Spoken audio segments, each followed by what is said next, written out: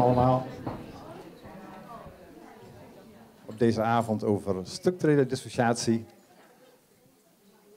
Helemaal speciaal welkom aan uh, Ellet Nijenhuis, die aan de hand van zijn uh, geruchtmakende boek samen met Onno van der Hart ons het een en ander uit de doeken zal doen. Eigenlijk sluit deze avond een beetje aan bij uh, de vorige keer, toen we het hadden over geheugen, toen we het hadden over uh, vergeten. Toen we het hadden over trauma en geheugen. Toen kwam al enigszins aan bod, ja, trauma en geheugen. Hoe reageert het geheugen eigenlijk bij ernstig trauma? De klassificatie of diagnose DIS kwam al even naar de orde. Een van de sprekers noemde al dat de helft van de bevolking die wilde die DIS-klassificatie uit de DSM-5. En de andere helft die wilde die disclassificatie er juist wel in. Er gingen al hele petities de ronde. Uh, ik vind uh, persoonlijk dat uh, ook therapie erg gebaseerd moet zijn op onderzoek, op experimenteel onderzoek, experimenteel psychologisch onderzoek. Dat is eigenlijk wel de beste basis ook voor psychotherapie. En mijn persoonlijke probleem was eigenlijk dat dat ik persoonlijk de evidentie die aangedragen wordt om aan te tonen dat structurele dissociatie niet bestaat, onvoldoende. Dus dat wil niet zeggen dat het voorlopig even misschien wel bestaat. Maar ik, ik ben persoonlijk niet erg onder de indruk van, uh, nou ja, van, de, van de onderzoeken. Ik denk dat met die onderzoeken uh, gewoon mogelijk de diepste kern van dissociatie laten we even aannemen dat zou bestaan, dan wordt het in ieder geval, naar ik vrees, niet gepakt. En dat is wat mij betreft de reden dat ik zeg uh, logisch en er mag ruimte zijn voor uh, ook deze opvatting. En misschien zal het blijken dat, uh, dat er heel wat evidentie voor, voor de opvatting structurele dissociatie bestaat. Maar goed. Uh, Ellen Nijenhuis was bereid om ons een en ander te vertellen. Dat moet je heel vaak doen tegenwoordig, maar dat krijg je als je zo'n geruchtmakend boek schrijft. Zo'n interessant boek, wat ook best wel een moeilijk boek was. Want in de inleiding staat, ja, ook patiënten die lazen dit boek met heel veel plezier. Nou, ik denk, verdorie, dan heb je wel, uh, dan heb je wel intelligente patiënten die goed onderlegd zijn. Want ik vond het zonder meer een heel ingewikkeld boek ik, ik, zie daar Jan zitten, wij hebben het ook wel over gehad, dat het een heel ingewikkeld boek was. Dus, uh, dus, maar misschien krijgen we vandaag, uh, vanavond nog even weer een beetje extra verduidelijking en stimuleren ons daarom ook de laatste bladzijde van het boek goed door te lezen. Ellet, ik geef het woord aan jou. Ja, dankjewel. Oh, nee, je hebt... Deze professor, zijn review staat, als ik het goed heb, op uh, Amazon.com. Bij de bespreking van ons boek staan een aantal reviews van het boek. En hij zei daar het volgende. Hij zei, ik probeer het aan de studenten uit te leggen. En die zaten allemaal te zwoegen om die moeilijke stof tot zich te nemen. Hij zei, ik leg het ook uit aan een groep van inner city survivors. Dat zijn mensen die de Noord-Amerikaanse steden eh, bevolken in alle armoede, met alle moeilijkheden die ze hebben. De gemiddelde opleiding is beneden middelbaar onderwijs. En deze mensen legde ik het uit. En hij zei, ze begonnen het mij uit te leggen, want zij begrepen het veel beter dan ik. Het boek dat we hebben geschreven is ook gebaseerd op alle jaren van ervaring die Onno van der Hart, Cassie Steele en ik hebben opgedaan met deze mensen sinds begin 1980. Toen ik de patiënten ontmoette, wist ik niets van trauma. Ik wist nog veel minder van dissociatie. Ik kende het woord niet eens. Mijn opleiding had daar niet in voorzien. Niet mijn opleiding als klinisch psycholoog, niet mijn opleiding als psychotherapeut.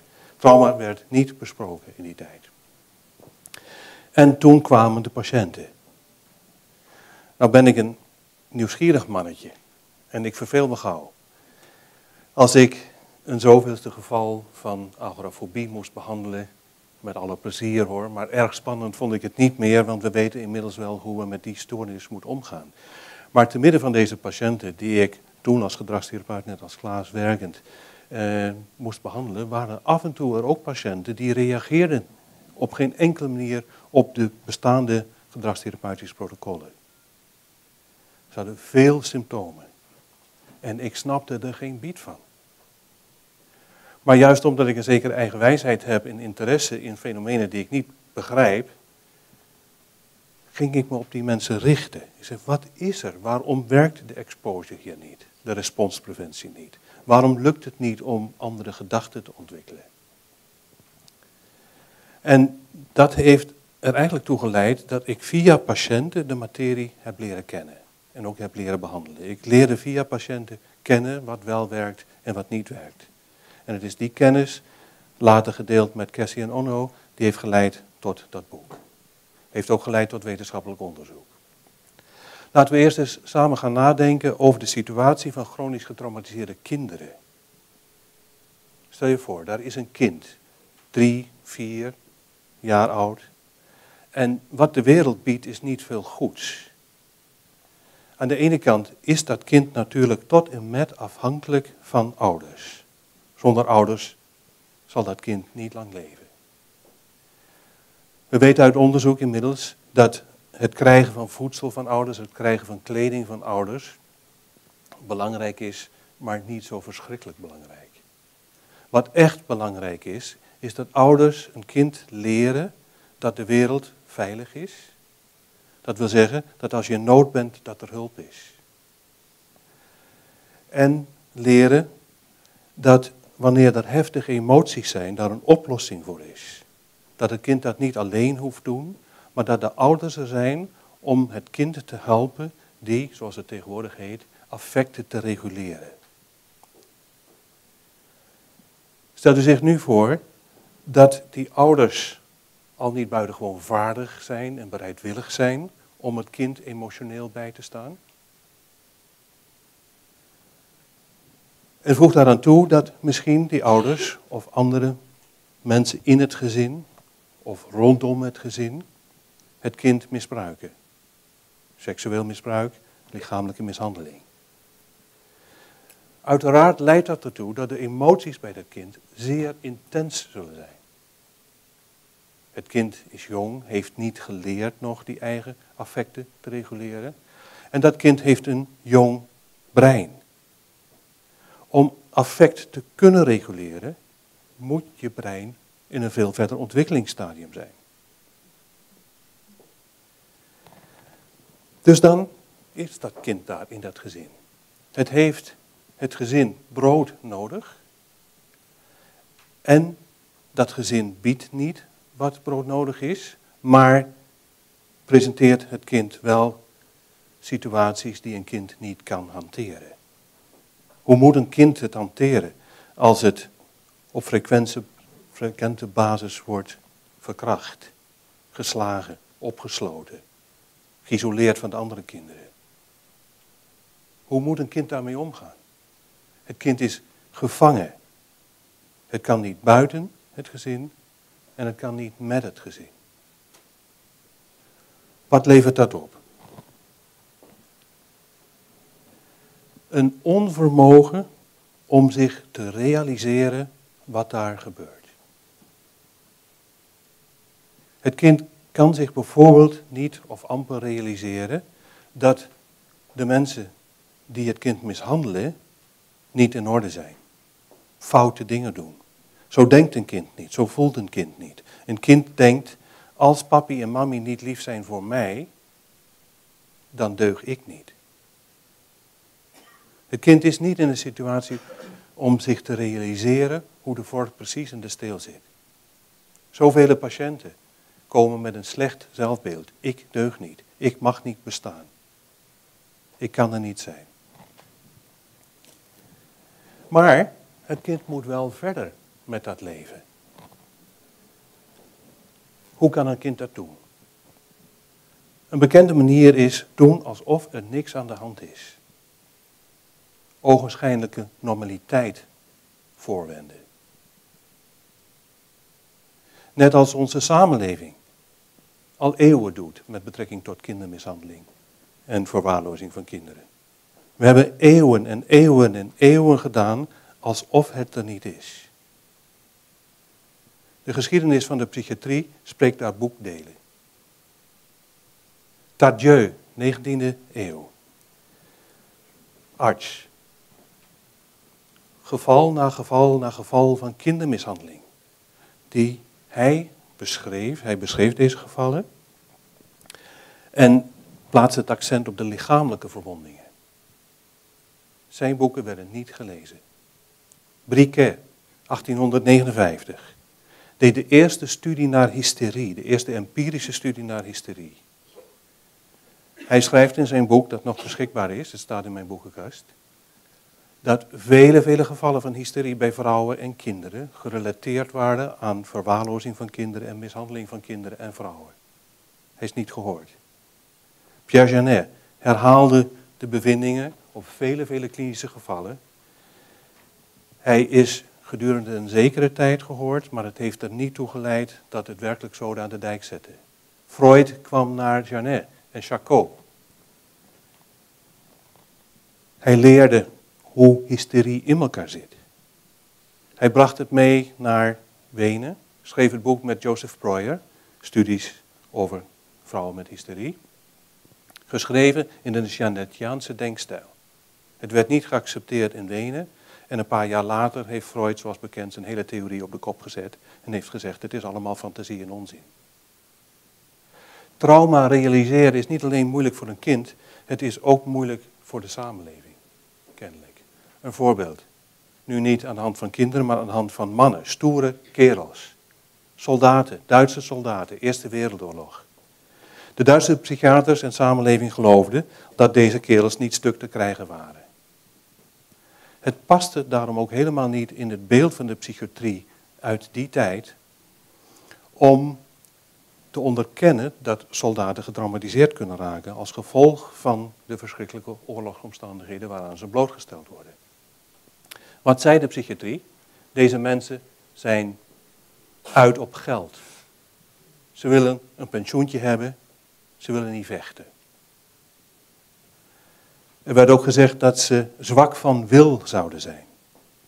En meer slechts. En daar zagen we dezelfde soort van kwalificaties in de psychiatrie verschijnen die al aan zoveel vrouwen en kinderen waren toegedicht met hysterie. Charles Myers, Engels psycholoog en arts, werkte ook met veel van deze soldaten. Hij onderkende wel dat er dissociatie was.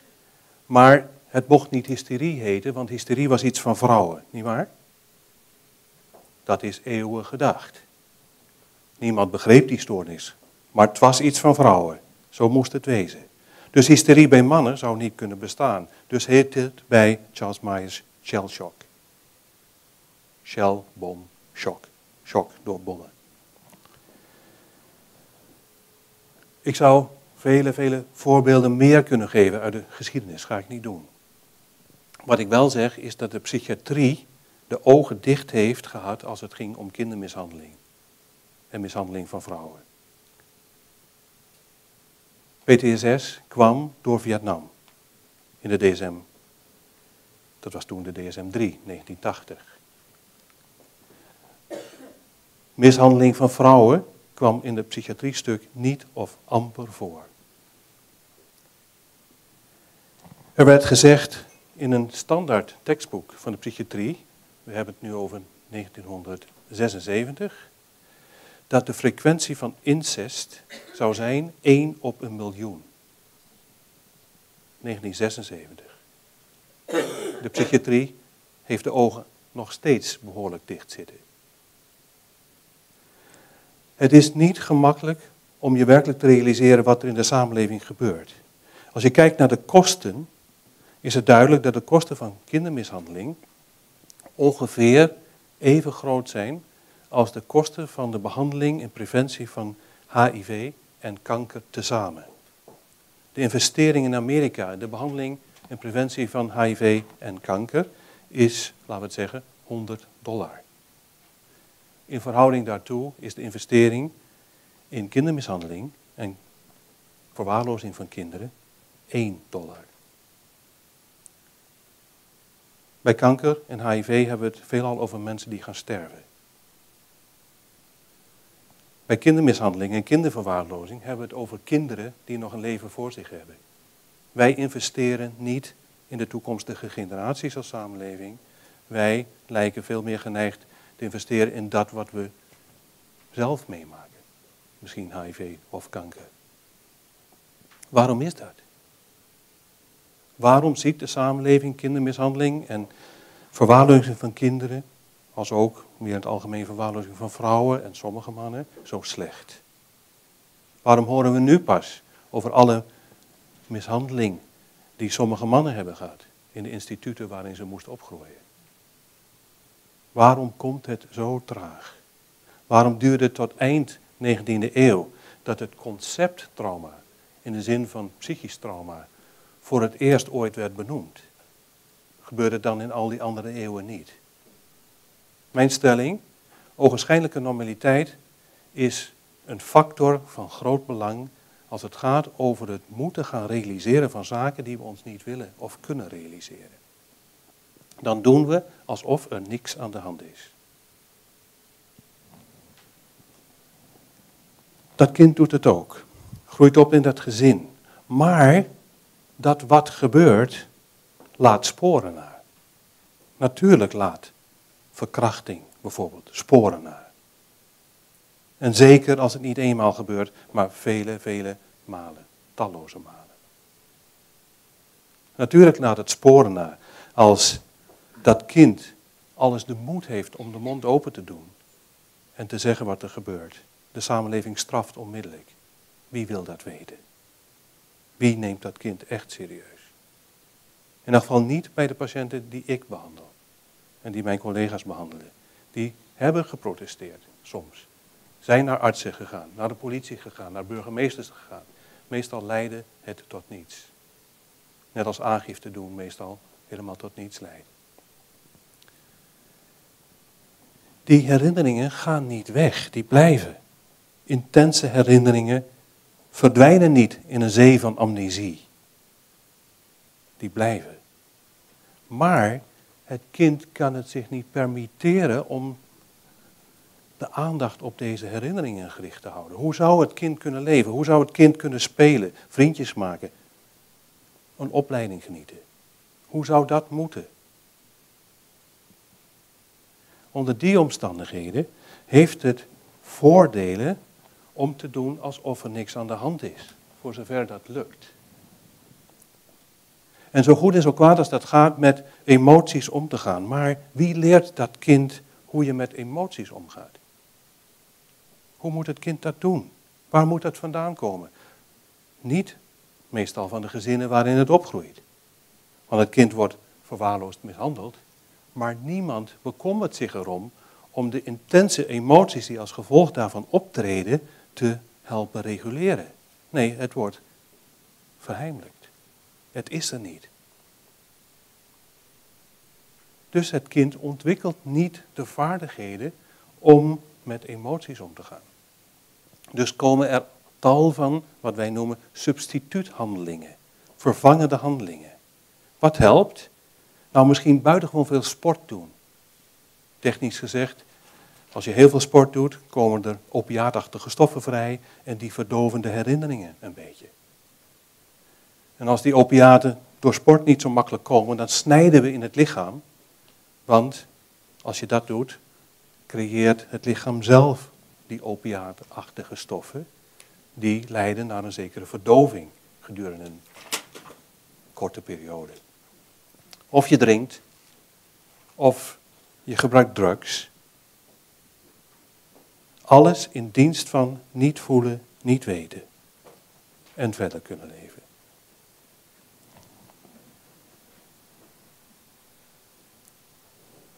Het is dus te moeilijk voor een kind om de ellende tot zich te nemen.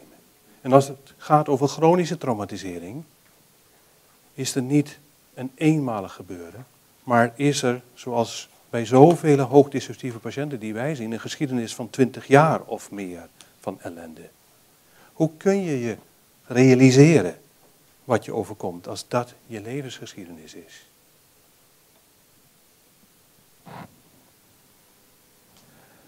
Ze herhalen daarom al die vervangende handelingen. Zelfbeschadiging, suïcidepogingen, depressief zijn, soms paniekaanvallen hebben, nachtmerries. U noemt het maar op. Waarschijnlijk kent u ze wel. Vele, vele lichamelijke problemen. Psychosomatische klachten, maar ook somatische klachten. Ik weet niet of u daarvan op de hoogte bent, maar er komt steeds meer evidentie voor dat veel als puur lichamelijk beschouwde ziekten sterk gecorreleerd zijn met kindermishandeling en verwaarlozing. Leverkanker is daar een voorbeeld van. Tuurlijk is dat gerelateerd of kan dat gerelateerd zijn aan middelenmisbruik. Maar ook maagkanker. Misschien nooit aan gedacht of longproblemen. Maar de correlaties zijn er. Na kindermishandeling en verwaarlozing, chronische traumatisering in de kindertijd, is de kans op het krijgen van kanker en vele andere ziekten vele malen hoger. En het verband lijkt voor, althans een aantal variabelen niet lineair te zijn. Dat betekent niet nog wat meer ellende, een nog wat hogere kans op ziekte. De verhouding is eerder non-lineair. Dat wil zeggen, tot een bepaald punt lukt het mensen om nog met ellende in het leven uit de voeten te kunnen. Ieder heeft een zekere buffer. Maar net als gold voor die stoere Duitse soldaat en andere soldaten in de Eerste Wereldoorlog, geldt, wat later een soort credo werd, iedere soldaat heeft zijn punt van instorten. Dat kan wat vroeger komen, het kan wat later komen, maar op een bepaald punt is te veel te veel en dan gaat het niet meer. Dus dat verband lijkt soms non-lineair te zijn. Dat betekent tot een bepaald punt lukt het nog om met ellende uit de voeten te komen, maar op een gegeven moment is het mis, is het te veel en dan gaat er veel mis. Niet alleen psychologisch, maar ook biologisch en ook psychosociaal.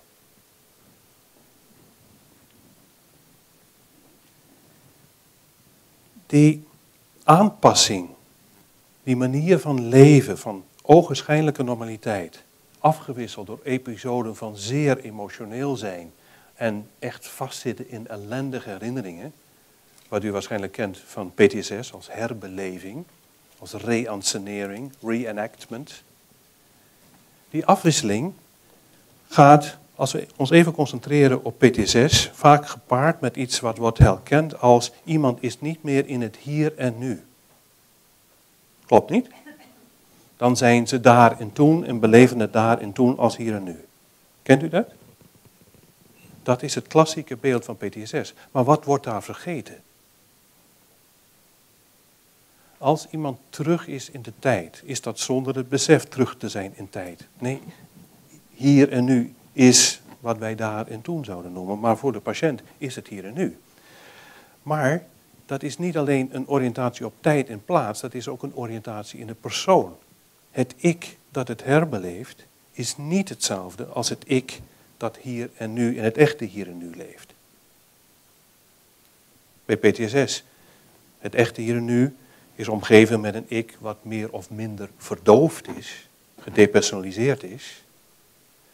Maar tijdens de herbeleving is dat ik weer het ik van toen, maar zonder het besef dat het gaat om het ik van toen. Klein voorbeeld. Ik heb een man mogen behandelen. Die was samen met zijn vrouw overvallen door een aantal criminelen ernstig, ernstig gemarteld. Ze hebben het amper overleefd, verschrikkelijke toestand. En de overvallers droegen helmen. Toen de man later werd aangehouden door de politie, omdat hij misschien een beetje te hard had gereden of iets dergelijks, iets onschuldigs, en hij doet het raampje naar beneden en ziet het gehelmde hoofd van de politieagent verschijnen, raakt hij onmiddellijk in een verschrikkelijke toestand van paniek. Hij geeft vol gas, spuit er vandoor en dat is een vreselijk gevaarlijke achtervolging geworden. Hij was weer de man die bedreigd werd door criminelen. Niet met het vermogen om te bedenken dat het al jaren later was en hij eigenlijk perfect veilig was. Dus wat je hebt bij PTSS is een verschuiving in tijd, plaats en persoon. En niet alleen het eerste persoonsperspectief, ik, met mijn onmiddellijke ervaringen, maar ook mijn perspectief op andere mensen. Dat merken we ook bij chronisch getraumatiseerde patiënten. Als zij hun ellende tijdens een psychotherapie-sessie herbeleven, dan ben ik amper soms nog Ellet. Dan word ik bijna waargenomen als een dader van toe. Eén patiënt zei na afloop, hij was weer hier, doelend op haar broer. Maar die broer was daar niet geweest, de enige die er was, was ik. Of, ja, tot nu toe ben je wel aardig goed voor me geweest, maar eigenlijk kan ik je niet vertrouwen, ik kan geen mens vertrouwen. Voor mij is het alleen nog maar de vraag, wanneer begin jij mij seksueel te misbruiken? Het is niet de vraag of het komt, het is de vraag wanneer het komt. Of wanneer laat jij me in de steek? Je geeft toch geen spat om je, je verdient toch je boterham daarmee, daarom doe je dit werk toch? Dat is het. Hier hebben we een voorbeeld van PTSS, waarbij je het wisselen in het perspectief van wie iemand is en hoe de omgeving is, mee ziet veranderen. Charlotte Delbo was in Auschwitz. Ze zegt, ik zit hier nu zo met jou te praten. Jij zijn de, de therapeut. Ik heb het gevoel echter dat het zelf, dat in het kamp was, dat ik dat niet ben. Dat is iemand anders. Ik zit hier. Ik zit hier tegenover jou. Nee, die andere, het is te ongeloofwaardig om te bedenken dat ik dat was. Alles wat dat andere ik is overkomen, degene van Auschwitz, dat raakt mij niet. Ik ben hier oké. Ik voel me goed. Maar dan heeft ze s'nachts een nachtmerrie. En ze zegt, ik kwam uit mijn nachtmerrie tevoorschijn met een vreselijke schreeuw. Door die schreeuw werd ik zelf wakker en vond mezelf terug in een vreselijke toestand van paniek. Het duurde dagen, schrijft ze, voordat ik mijn herinneringshuid weer kon sluiten.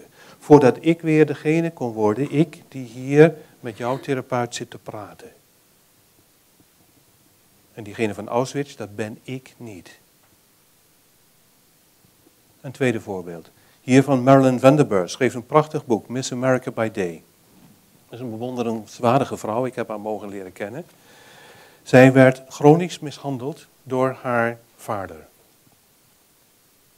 Ze schrijft in de loop van haar boek, en ze heeft het mij verteld, mijn vader was een verschrikkelijke man. Aan de buitenkant leek er niets aan de hand, een gevierde figuur in de samenleving. Maar in het gezin, een tiran van heb ik jou daar. En moeder, die wist het. Moeder wist wat mij overkwam. Mijn haat naar moeder is vele malen dieper dan mijn haat naar mijn vader. Hoe kon Marilyn, die ooit Miss America werd, omdat ze een prachtige vrouw is en nog steeds is, ze is nu in haar zeventiger jaren. Hoe kon zij het overleven? Ze zegt, zonder dat ik me dat nu echt realiseerde, daar komt dat woord realisatie weer terug, heb ik ervoor gezorgd dat er twee werelden waren die ik uit elkaar heb gehouden. Zonder dat ik dat nou bewust deed, heb ik er eigenlijk altijd voor gezorgd dat die twee werelden ook gescheiden bleven. En zo creëerden zij twee werelden waarbij er een dagkind was en een nachtkind. Het dagkind, ogenschijnlijke normaliteit overdag. Het nachtkind, het, het kind dat alle ellende van vader en moeder moest meemaken. Dat is wat wij beschrijven als structurele dissociatie, of simpeler gezegd dissociatie van de persoonlijkheid. Wij zijn allen een organisme. En we kunnen dat organisme psychologisch bestuderen, biologisch en psychosociaal. Maar we zijn één organisme. We zijn één biopsychosociaal organisme. En dat organisme kan zich kennelijk opdelen in meerdere subsystemen. De persoonlijkheid is een systeem. De persoonlijkheid kan worden opgedeeld in subsystemen of, als je het makkelijker wilt zeggen, dissociatieve delen van de persoonlijkheid. Dat is zoals Janet en anderen in de 19e eeuw het concept dissociatie voorstellen. En dat is een zinnige manier, vinden wij, van zaken voorstellen. Later kwamen er allerlei zaken rond dissociatie. Is het eigenlijk een kwestie van suggestie en fantasie? Komt het door de therapeut, heeft de therapeut het me gezien, gesuggereerd? Of komt het door verschrikkelijke levenservaringen? Of is het een verdedigingsmethode? U zult al die vormen in de literatuur tegenkomen. Is het een mythe? Het bestaat eigenlijk helemaal niet. Of doen we het allemaal, zoals sommigen beweren? Is het alleen iets geestelijks? Is het alleen iets in dispatiënten? Of zijn het gewoon een aantal symptomen? Wat is het nou eigenlijk? Onno van der Hart en ik hebben een artikel geschreven waarin wij ons best hebben gedaan om het concept zo goed mogelijk te definiëren. Ik kan eraan toevoegen dat de klinische gemeenschap en de wetenschappelijke gemeenschap deze definitie niet in grote getalen heeft geaccepteerd. Omdat er inmiddels heel wat mensen zijn die een andere definitie hebben van dissociatie, waar ze overwaken als zij als ware het hun kindje. En dat moet kosten wat kost beschermd worden. Gevolg is een enorme verwarring over wat dissociatie nou wel en niet zou zijn. Wij zeggen, dissociatie bij trauma, dat houdt in een opdeling van iemands persoonlijkheid als geheel systeem, zoals ik daarnet al zei. En dat gehele systeem bepaalt iemands karakteristieke, geestelijke en lijfelijke handelingen. Dat wat we doen. En handeling is in, ons, in onze theorie een ruim begrip. Het heeft uiteraard betrekking op datgene wat we met ons lijf doen, maar het heeft ook betrekking op denken, voelen, waarnemen. Het zijn ook handelingen. En wij beweren dat die opdeling van de persoonlijkheid de kern is in alle trauma-gerelateerde stoornis. Dus niet alleen in een extreme dissociatieve stoornis, zoals dissociatieve identiteitsstoornis, maar, en ik gaf het al aan, ook in PTSS. Gaat het om een opdeling van de persoonlijkheid in subsystemen. Hier hebben we de oude definitie van Pierre Janet over hysterie. Hij zegt, hysterie is een vorm van mentale depressie en daarmee bedoelde hij niet een stemmingstoornis, maar een vermindering van het vermogen om zaken te integreren, in je op te nemen. Te ervaren wat er is om te ervaren, te weten wat er is om te weten, te voelen wat er is om te voelen, je te herinneren wat er is om te herinneren. Hysterie gaat samen met een vernauwing van het veld van bewustzijn, en ik zou er mogen aanvullen, vaak, of althans incidenteel, een verlaging van het niveau van bewustzijn. Iemand is niet meer goed present. Twee fenomenen die nu vaak als dissociatie worden beschreven, maar oorspronkelijk dus werden verstaan als veranderingen van bewustzijn. En dat zijn ze ook volgens mij.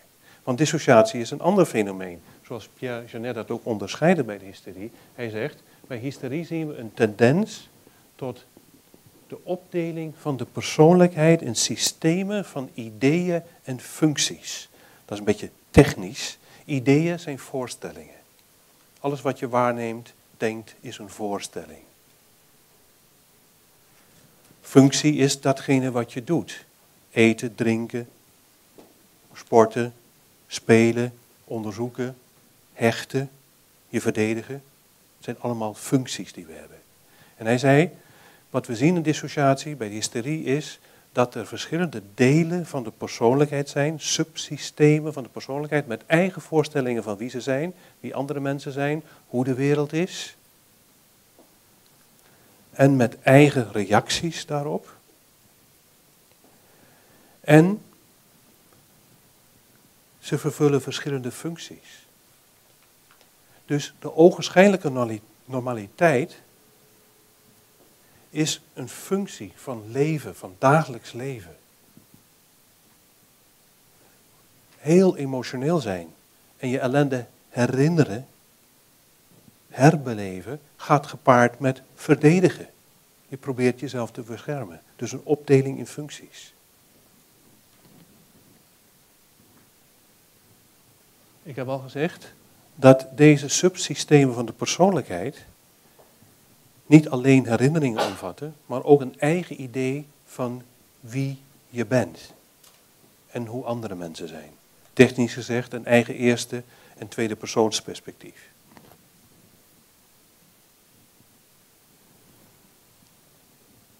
Wat we zien en dat is iets wat we niet alleen klinisch zien, maar ook in empirisch onderzoek zien, is dat we allemaal een bepaald integratief vermogen hebben. Een vermogen om zaken tot ons te nemen. Eigen ervaringen te integreren, te zeggen dat zijn mijn ervaringen geweest. En dat ben ik. En dat zijn andere mensen en daarin stabiliteit ontwikkelen. En elke nieuwe ervaring die we hebben, zoals bijvoorbeeld deze van vanavond, samen spreken over dit pijnlijke, deels pijnlijke onderwerp, maar ook wel erg boeiende onderwerp, tot je nemen. Als het eenvoudige zaken zijn die niet erg emotioneel belastend zijn, doe je dat gemakkelijk. Als het moeilijke zaken zijn, doe je dat niet zo gemakkelijk. In de eenvoudigste vorm leidt dat naar PTSS. En PTSS is puur sang een gebrek aan integratie. Want datgene wat je herbeleeft en het wordt niet opgenomen, is ook datgene wat iedere keer weer terug gaat komen. Net zolang tot de PTSS-patiënt leert om datgene wat gebeurde en wat zo pijnlijk was, wel in zich op te nemen, te integreren en te realiseren. Dat geldt ook voor de andere dissociatieve stoornissen, waarbij het gaat om hetzelfde probleem. Er is iets wat ik moet opnemen en ik kan het niet, want mijn integratieve capaciteit schiet tekort. Bijvoorbeeld omdat ik nog kind ben. Geen ervaringen heb opgedaan hoe ik met sterke emoties moet omgaan en kan omgaan. En ook niet de hersenen heb die me dat toestaan. Wat is integreren eigenlijk? Zoals ik hier ben, moet ik datgene wat ik in mijn lichaam voel, verbinden met datgene wat ik emotioneel voel en datgene wat ik denk. Ik moet datgene wat ik visueel waarneem, auditief waarneem. En als het belangrijk zou zijn, datgene wat ik proef en ruik. En in mijn lijf voel, allemaal met elkaar in verbinding brengen, zodat ik één coherente ervaring heb. En die coherente ervaring, dat zou mijn ervaring moeten zijn. Dit moet mijn beweging zijn en ik moet het gevoel hebben dat ik het doe. Ik moet het personaliseren, of zo je wil, personificeren. En ik moet het tot een synthese brengen. Het moet niet een setje fragmentjes zijn, niet een beetje voelen hier, een beetje visuele waarneming daar en nog iets auditiefs hier. Het moet één geïntegreerde ervaring zijn. Maar dat moeten wij wel doen, want als we het niet doen, hier gebeurt het niet. Dat is synthese. Onze ervaringen moeten we ons realiseren. Dat houdt in wat ik al zei, personificatie. Het moet mijn ervaring zijn en ik moet degene zijn die het doet.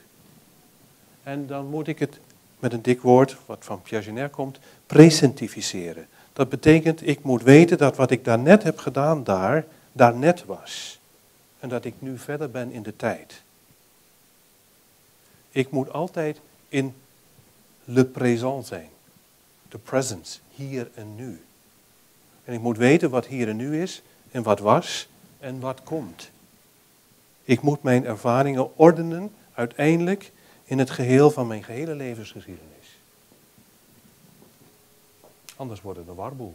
Of anders zitten de gaten in de tijd waarbij ik bepaalde episoden uit mijn leven niet heb eigen gemaakt. Het kan zijn dat ik het me niet herinner, maar dat het ergens wel tot mijn bagage behoort. En dat zien we bij dissociatie. Het kan ook zijn dat ik het me wel herinner, maar dat het toch nog niet echt echt is voor mij. Vele patiënten met PTSS en met dissociatieve stoornissen kunnen wel het een en ander zeggen over hun traumatisering. Maar sommigen ratelen over wat hun is overkomen, zonder dat ze het tot zich nemen. Er is een verschil tussen iets weten en iets realiseren. Onze samenleving, om daar nog een voorbeeld van te geven, weet best hoeveel kindermishandeling en verwaarlozing van kinderen er is. Die kennis is er wel. We weten ook wel aardig wat het kost. Heel, heel, heel veel geld. Maar we realiseren ons het niet als we niet veel meer investeren in de preventie en behandeling ervan. Dat is het verschil tussen weten en realiseren. Zo kunnen we zeggen dat trauma-gerelateerde stoornissen stoornissen zijn waarbij er iets misgaat in de synthese en in de realisatie.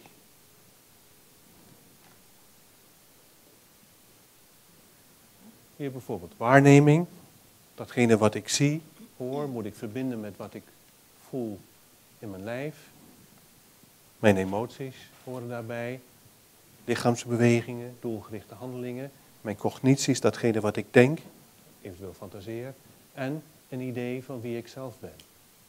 Zo creëer ik een model, een voorstelling van de wereld en een voorstelling van mezelf. En die moet ik aan elkaar koppelen, zodat ik een ik ben in de wereld. Dat is synthese. Presentificatie.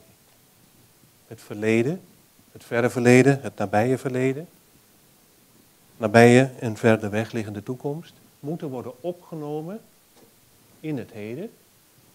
En het heden moet altijd het meest echt zijn. Want alleen in het heden kunnen we handelen. Als het verleden meer echt is dan het heden, zou het kunnen zijn dat ik een depressie heb. Ik kijk terug naar mijn verleden en ik zie hoe ik in mijn eigen opvatting gefaald heb. En ik voel me daar ellendig over, want ik heb het niet goed gedaan. Het lukt me niet. Ik ben iemand die geen succes is. En ik heb geen toekomst. Ik zie geen toekomst. Iemand met een angststoornis leeft voortdurend in de toekomst. Oh, als ik dit doe, dan gebeurt dat. En dan is de toekomst meer reëel dan het heden. Zoals bij de depressie het verleden meer reëel lijkt te zijn dan het heden. Dus presentificatie is een algemeen probleem, maar bij traumatisering wel in het bijzonder, omdat dat verleden vaak die ellendige ervaringen inhoudt die iemand zich niet of onvoldoende heeft eigen gemaakt. Wat weer niet betekent dat dat verleden niet verdwijnt. Nee, dat wordt gereactiveerd. En als dan zo'n emotioneel deel van de persoonlijkheid opkomt, is het weer hier en nu. En ik in dat hier en nu, wat feitelijk daar en toen was. Die integratieve capaciteit ontwikkelt zich in de loop der tijd bij iedereen. We weten uit vrij recent hersenonderzoek dat het ongeveer 25 jaar duurt voordat onze hersenen tot volle wasdom zijn gekomen. Als we worden geboren, hebben we een ruggenmerg en een hersenstam. En die doen het al. Die werken. Dus het kleine babytje dat komt, kan iets al akelig vinden of prettig vinden. Kan al bang zijn van iets.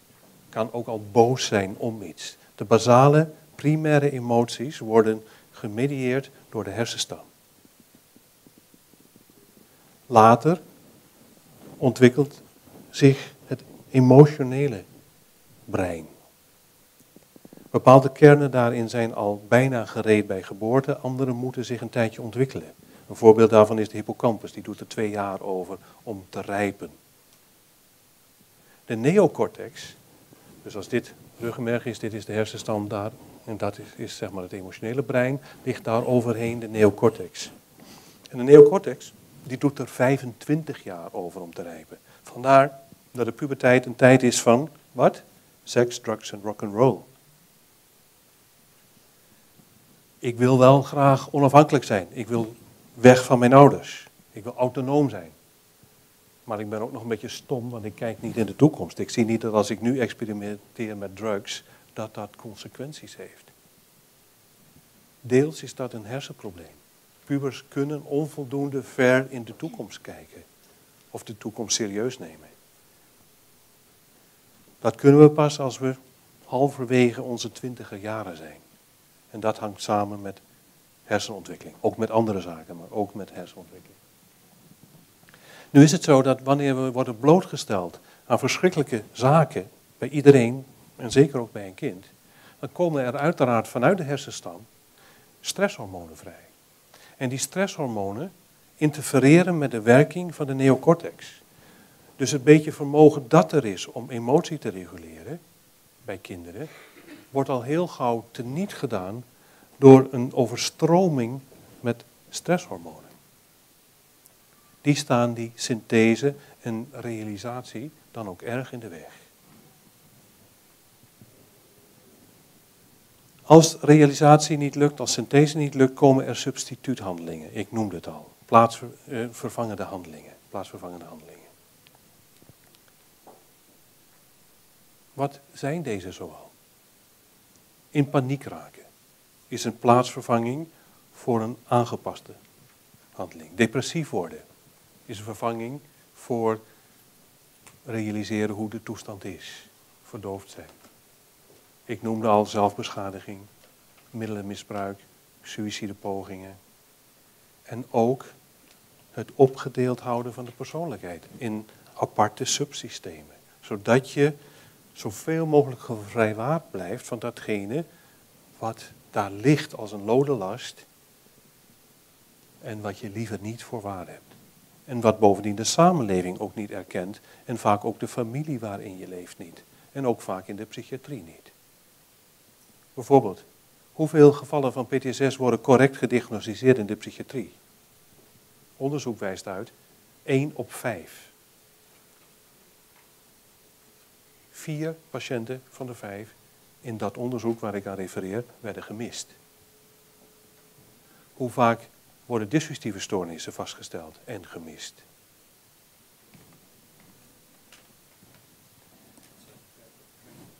Wat zegt u? Perpetrators. Uh, dat zijn um, daders van geweld. Ja. Incestplegers en anderen. Goed. Hoe ziet die emotionele wereld eruit? Ik heb het geprobeerd te vangen met een plaatje. Ik ben klein en ik moet me beslist verdedigen, want er dreigt gevaar. Ik kan niet eten. Ik kan aan niets anders denken. Er dreigt gevaar en al wat ik doe is mezelf beschermen. Zo goed als het gaat.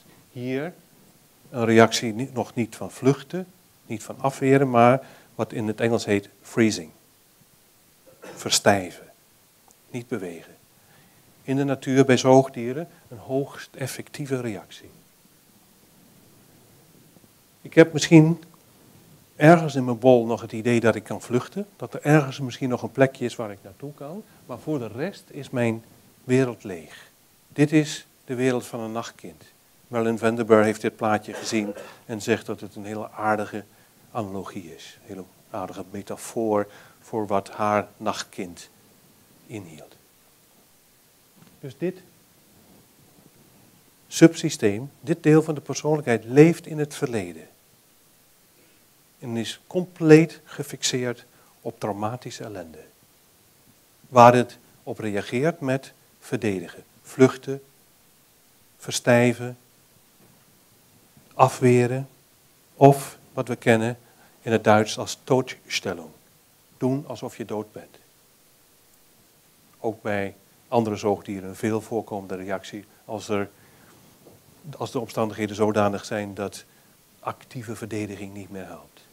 Actieve verdediging gemedieerd door het sympathische zenuwstelsel, doodstelling gemedieerd door vooral het parasympathische zenuwstelsel. Maar zo, zoals ik al zei, kan een kindje niet leven, kan niet naar school gaan. Dus moet er een truc komen. Hier zegt het kleine poesje, Yeah, though I walk through the valley of the shadow of death, I will fear no evil. Voor degenen die Bijbel vast zijn, weten we dat dat Psalm 23 is. Ook al loop ik door de vallei die de schaduw is van de dood, we zullen niet bang zijn. Ook al zijn er talloze daders van geweld om mij heen. En zijn er talloze, om met klassieke conditionering te spreken, geconditioneerde stimuli. Die verwijzen naar deze ongeconditioneerde stimuli. Ik moet doen alsof er niets aan de hand is. En zo flipt het kind heen en weer tussen ogenschijnlijke normaliteit en ellende. Die maar niet overgaat. En weer terug. En weer heen. En weer terug. En dat is structurele dissociatie van de persoonlijkheid. Deze verschillende subsystemen of delen van de persoonlijkheid hebben hun eigen waarnemingen, lichaamsgevoelens, affecten, bewegingen, gedachten en het idee van wie ze zijn. Ik ben een kind. Ik kan amper denken. Ik verdedig me. Ik heb hele sterke angsten. Sterke lichamelijke gevoelens van pijn. En ik neem waar wat mij overkomt. En beleef het alsof het hier en nu gebeurt. Dat is het muisje. Hier, ik heb ook waarnemingen. Ik heb niet zoveel lichamelijke gevoelens, want ik heb liever geen lijf. Want daar zijn allemaal nare dingen. Praat daar niet over. Ik, ik heb eigenlijk geen lijf. Een patiënt van mij zei, ik zweef, ik zit nooit op een stoel, ik ben een hoofd. Sorry. Ik ben een hoofd. Mijn hoofd rijdt in de auto. Tuurlijk weet ik wel dat er een lichaam is, maar ik voel het niet. In de therapie moest ze leren dat lichaam te voelen en dat bracht haar rechtstreeks naar waar ze niet wilde wezen. Affecten? Nee, niet te veel voelen. Nee, nee, een beetje doen alsof het er niet is of mezelf verdoven op de een of andere manier. Bewegen? Ja, ik beweeg. Ik handel. En ik heb ook wel een idee van wie ik ben, maar ik ben wel een beetje gedepersonaliseerd, zoals jullie dat noemen. Ik ben er wel, maar ook eigenlijk niet zo heel echt. Heen en weer gaan tussen verschillende syntheses is ook dat wat het inhoudt. Met andere herinneringen. We moeten het verwerken. Maar zei Janet al, en dat is nog steeds net zo waar als dat toen hij het schreef in 1919. Alle getraumatiseerde patiënten zijn ergens blijven steken in hun ontwikkeling. Ze stoten iedere keer weer op die ellende die maar niet over wil gaan. En komen daar ook niet mee klaar. Ik moest reageren daarop, maar ik weet niet hoe, dus ik doe het niet. Elke keer als ik het herbeleef, probeer ik misschien daar nog mee in het reinen te komen. Maar omdat het zo heftig is, lukt me dat niet. En blijf ik steken. De handeling om je zaken eigen te maken, zei Janet, moet worden volbracht, moet worden beëindigd. Net als elke handeling. Kennen we niet allemaal de ervaring dat als we nog iets moeten doen, een klusje wat we niet zo leuk vinden, dat we neigen dat klusje uit te stellen. Maar het vreet energie, want elke keer komt het weer terug in onze gedachten. Iedere keer is het weer daar. En weg ermee, ah, kan nog wel. Maar dan komt het weer terug en weer terug en weer terug. Dus we beginnen er wel aan. Ja, ja, ik zal het morgen doen. Dat is het begin van de handeling. Maar we beëindigen de handeling niet. We completeren de handeling niet. En dat is ook precies wat trauma is. Want als je nou iets hebt eigen te maken wat leuk is, dan doe je het wellicht graag. Hoewel ook dat moeilijk kan zijn. Ik zal zo dadelijk een voorbeeld geven. Maar als het al terugwijst naar iets waarbij iets helemaal misging, doe je dat liever niet.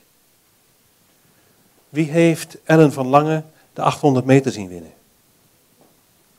Olympische Spelen. Wie herinnert zich haar gezicht? Ze had gewonnen. Ze kijkt op het bord.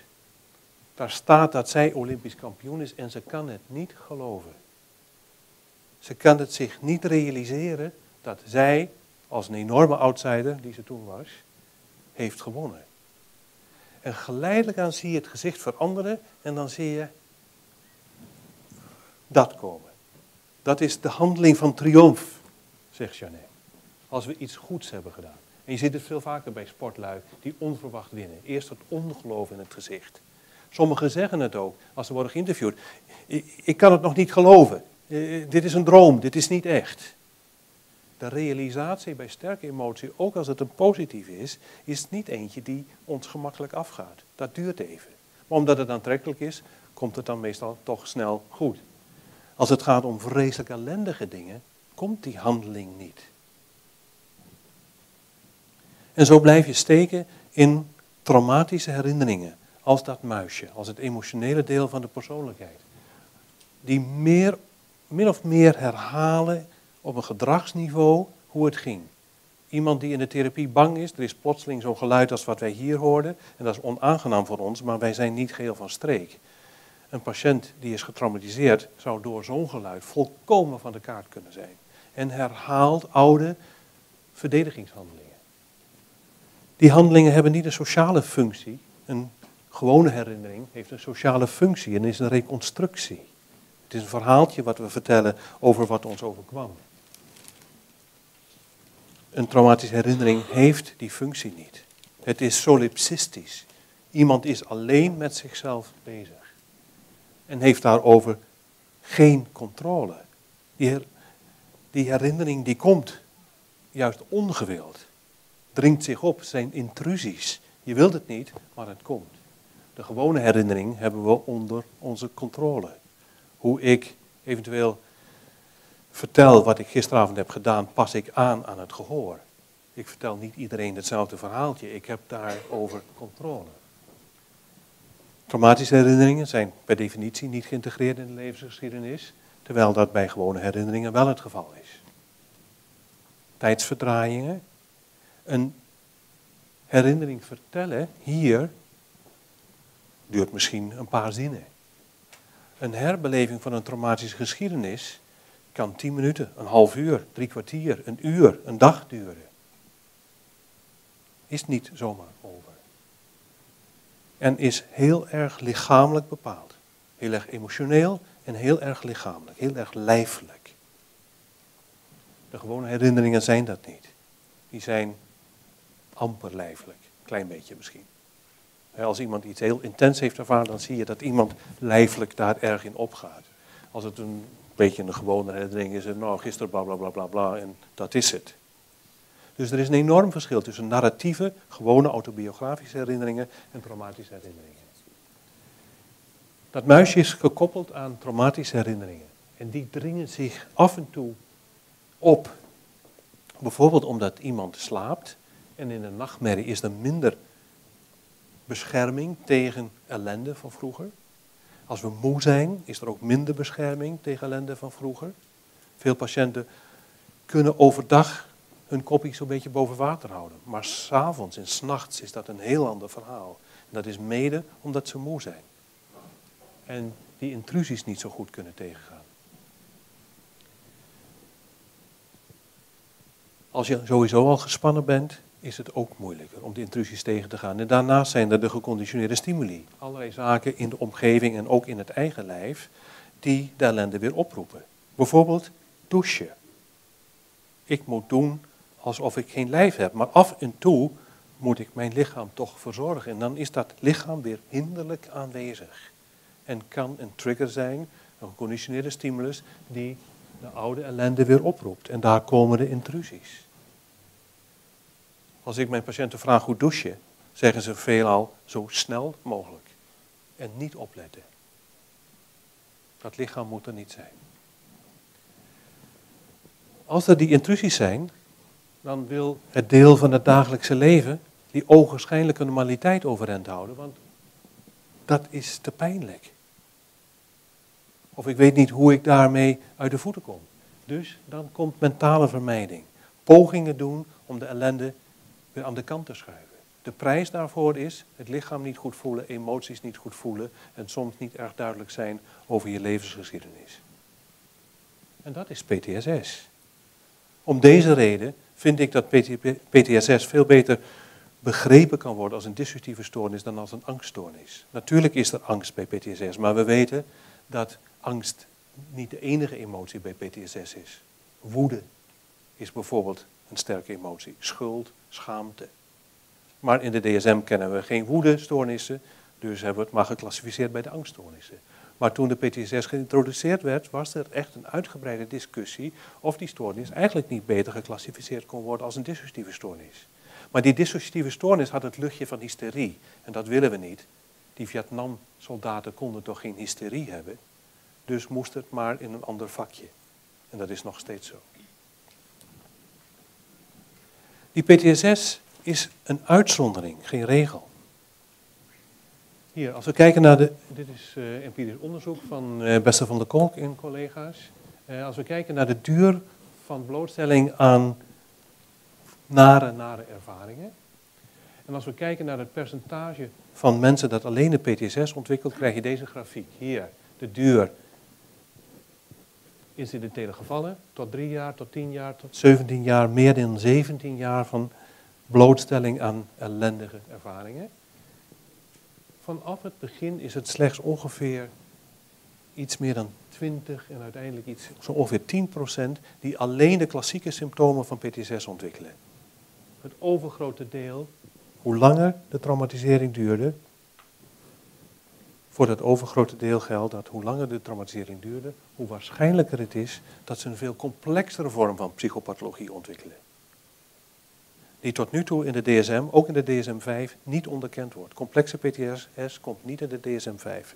Maar wellicht wel, het voorstel ligt er in de ICD-11. Dat zou dikke winst zijn. Want de patiënten zoals wij ze in de psychiatrie zien, zijn zelden gevallen van enkele PTSS. Veelal is het veel complexer. Dat geldt ook als je kijkt naar de leeftijd waarop de ellende begon. Hoe jonger, hoe waarschijnlijker dat je die complexe vormen van PTSS ontwikkelt. In plaats van de enige vorm die in de DSM is omschreven. Wat houden die complexe vormen in? Gebrek aan affectregulatie. Wisselingen in bewustzijn. Lichamelijke symptomen. Problemen in de gehechtheid. Karakter wijzigingen, andere betekenisgeving. En steeds een heen en weer gaan tussen wat je kunt omschrijven als positieve en negatieve symptomen. Positieve symptomen zijn symptomen waarbij er iets is wat er niet meer moet zijn, zoals pijn, intense angst, stemmen horen. Een negatief symptoom is iets wat er wel zou moeten zijn, maar wat er niet is. Ik kan mijn lichaam niet voelen. Ik voel mijn emoties niet. Of ik heb een deel van mezelf niet eigen gemaakt. De consequenties van chronische kindermishandeling zijn gigantisch. Allemaal gegevens uit wetenschappelijk onderzoek. Vele psychische stoornissen hangen samen met een geschiedenis van kindermishandeling en verwaarlozing. Vele, vele symptomen. Bewustzijnswijzigingen, gehechtheidsstoornissen, verlies van betekenis, het leven is zinloos geworden, persoonlijkheidswisselingen biologische veranderingen, sociaal dysfunctioneren, seksueel dysfunctioneren, slecht idee hebben over jezelf. De relatie met geweld en misdaad is aanzienlijk. De kans dat iemand gewelddadig en crimineel wordt is vele malen sterker na chronische kindermishandeling. Daar zouden we ook nog eens goed over moeten nadenken.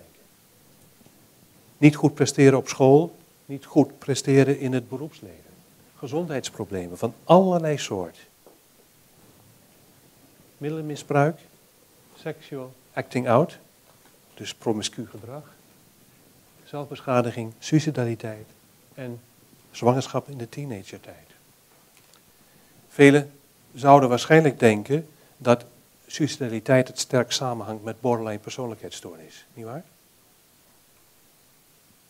Zo staat het wel omschreven in de DSM. Feit is dat de dissociatieve stoornissen sterker verbonden zijn met suicidaliteit. Moet er misschien ook nog bij staan uh, dat je zelf, uh, als je weer ouder wordt, sterk verhoogde kans hebt om ook je kinderen... Ja, die moet erbij staan. Er zijn inmiddels longitudinale studies gedaan die aangeven dat uh, mensen die zelf mishandeld en verwaarloosd zijn een verhoogde kans hebben op kinderen met dissociatieve problematiek en andere problematiek. Dus het lijkt over de generaties te gaan. Maar de frequentie waarmee is betrekkelijk bescheiden. Het is ongeveer een kwart, voor zover ik het onderzoek ken, wat dat patroon heeft. Dus ook drie kwart doet het niet. Dat neemt niet weg dat die kinderen van mensen die ernstig dissociëren natuurlijk wel een moeder hebben of een vader die er vaak niet is. Of die wisselt, die inconsequent is. En dat heeft allerlei gevolgen waar ik ook nog later op zou willen ingaan. Ja. En, maar goed, dat risico is er wel. Dus ook weer een extra reden om veel actiever om te gaan met kindermishandeling en kinderverwaarlozing. Veel meer bestrijden. een veel groter maatschappelijk probleem ervan maken als dat het tegenwoordig is. En ik ga niet zeggen dat we niet al goed onderweg zijn. Er is veel meer aandacht voor, maar nog lang niet genoeg. Maar er is ook heel veel aandacht. Wat ik, ja, wij, werken in de jeugdzorg, Ja. in een bureau jeugdzorg. En eh, wat ik dan eh, wel eens tegenkom is dat eh, ouders dan zelf bekend zijn, of best vaak tegenkom trouwens, bekend zijn in de psychiatrie. Ja.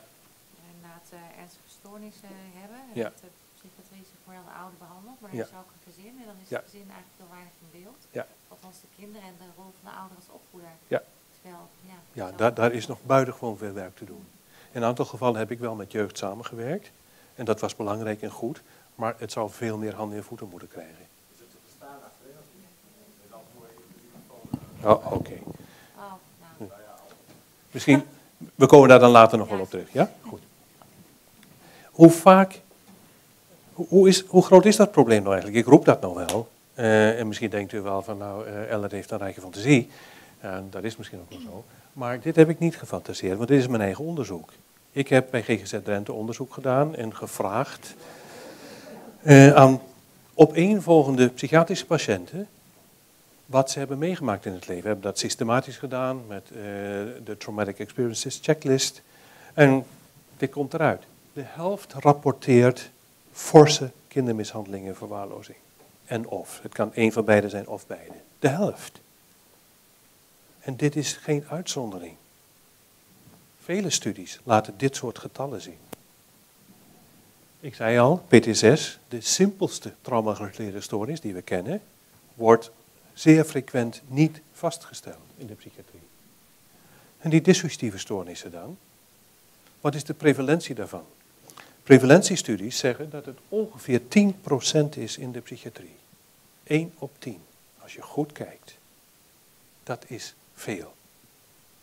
DIS, dissociatieve identiteitsstoornis, als meest extreme dissociatieve stoornis, meest sterk ontwikkelde, meest complexe vorm ervan, heeft een prevalentie van 1 Ja? Dit is de volwassen psychiatrie, ja. Ja. onderzoek op de volwassen leeftijd. Bij, van kinderen weten we nog zo weinig. Er is zo weinig aandacht voor dissociatie bij kinderen. Wat op zich alweer heel erg opvallend is. Maar goed, dat, dat is dan zo. Hier, ehm, en iets over de politiek in de psychiatrie. Ehm, ik kan u vragen, als u vanavond naar huis komt en u hebt nog een klein beetje energie over, ga eens naar Google. En Google schizofrenie of schizofrenia. En kijk hoeveel hits verschijnen. Dan doe hetzelfde voor dissociative identity disorder. Zelfde prevalentie. En kijk hoeveel hits er dan verschijnen. Of degenen die toegang hebben tot een eh, wetenschappelijk zoeksysteem voor wetenschappelijke artikelen, PubMed. Doe het eens voor deze beide stoornissen. En kijk eens naar de verschillen. En voor de diehards, doe het eens voor schizophrenia en neuroimaging. En doe het eens voor dissociative identity disorder en neuroimaging.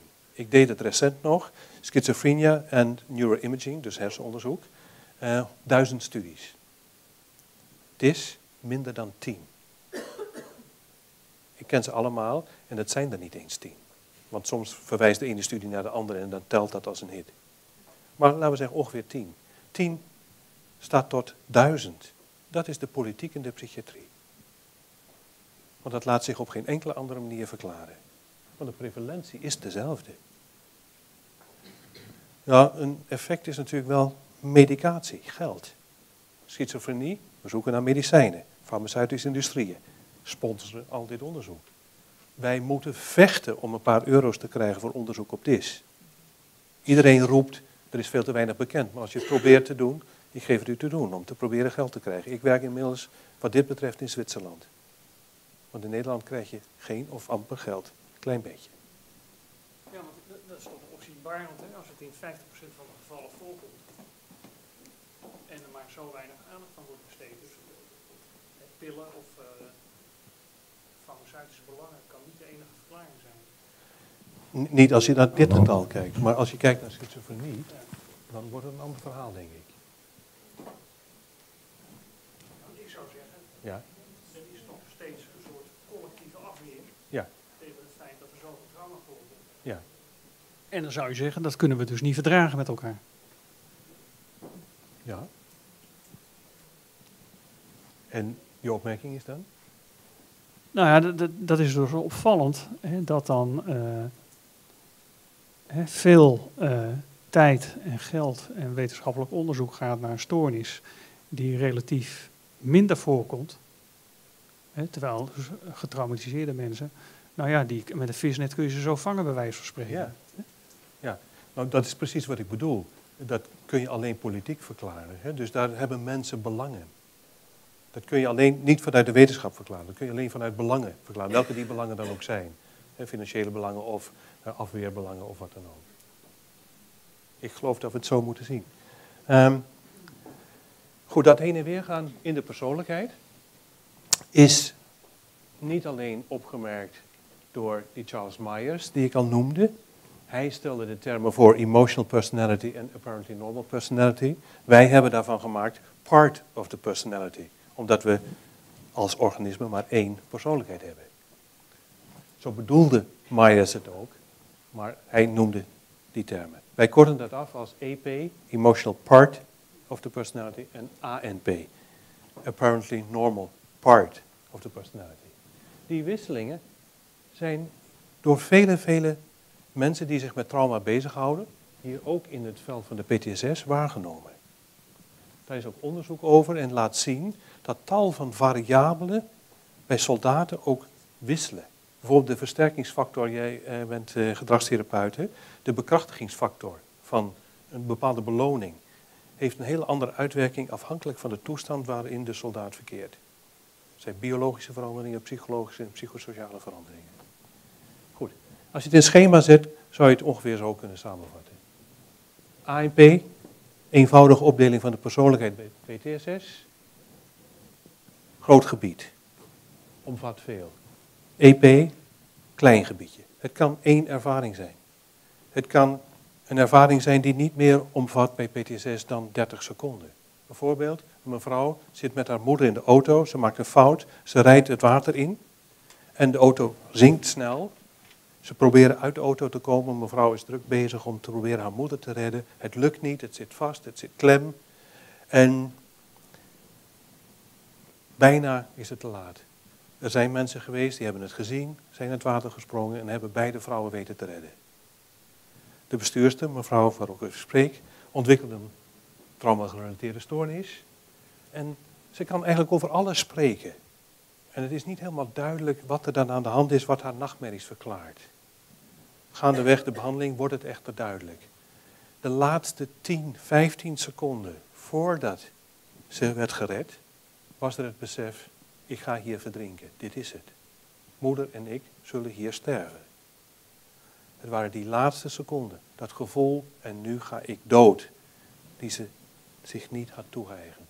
Toen ze dat wel had gedaan, was de stoornis over. Dus de EP, in een extreem geval, hm, misschien een half minuutje. Het was dat stukje wat niet opgenomen was. Ja, Als je, als je maar bij een gewone, ehm, ik noem dat maar even gewone, PTSS-behandeling, dan herstel je dat automatisch.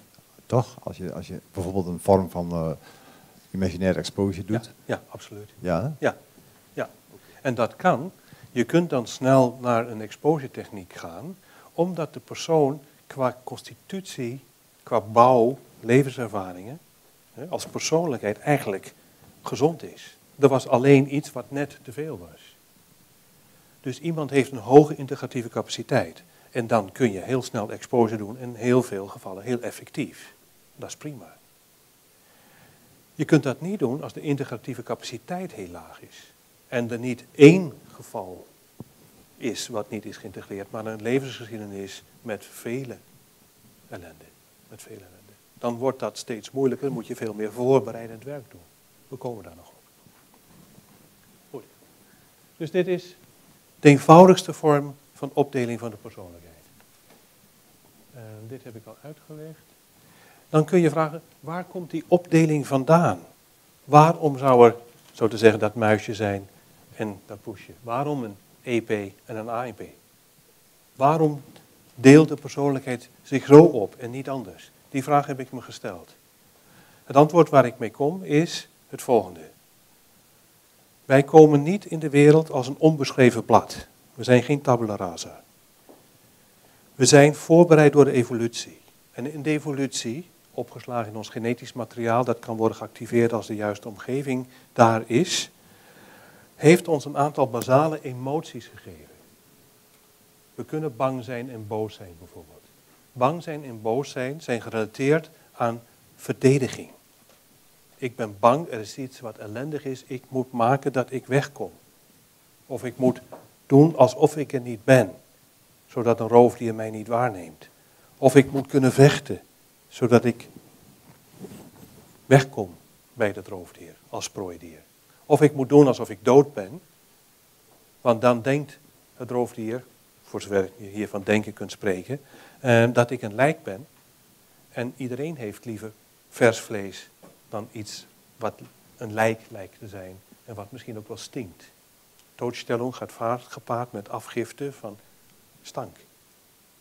Plassen, poepen, hoort er vaak bij. Onaantrekkelijk zijn voor een roofdier. Opdat het roofdier je maar niet opeet. En bovendien, wie een kat heeft, een poes heeft, heeft waarschijnlijk wel eens gezien dat de poes een muis heeft gevangen. Is het niet? Wie heeft het wel eens gezien? Ja, oké. En uh, in jouw geval, heb je gezien wat die poes deed met die muis? Als de muis zich voor dood hield. Ja, dus precies dat is het. Zolang dat muisje zich niet beweegt, is het een lijkje. En zal de poes waarschijnlijk niet gaan peuzelen. Maar als die muis laat zien dat het vers vlees is, ik kan rennen. Dus beweging lokt aanval uit bij roofdieren. Goed. Zo zijn we, zegt Jake Panksepp in een boek dat ik ieder kan aanbevelen, The Archaeology of Mind, met Biven geschreven. Dat is een toegankelijke versie van zijn boek uit 1998. Ehm, dat heet Affective Neuroscience, geeft veel meer details, maar dit boek is wat makkelijker leesbaar. Um, zegt, wij komen in de wereld met handelingssystemen, emotionele handelingssystemen. Die bereiden ons voor op het leven dat komt. We zullen voelen dat we honger hebben. Als we het niet voelen en als we niet emotioneel worden, als we niet te eten krijgen, gaan we dood.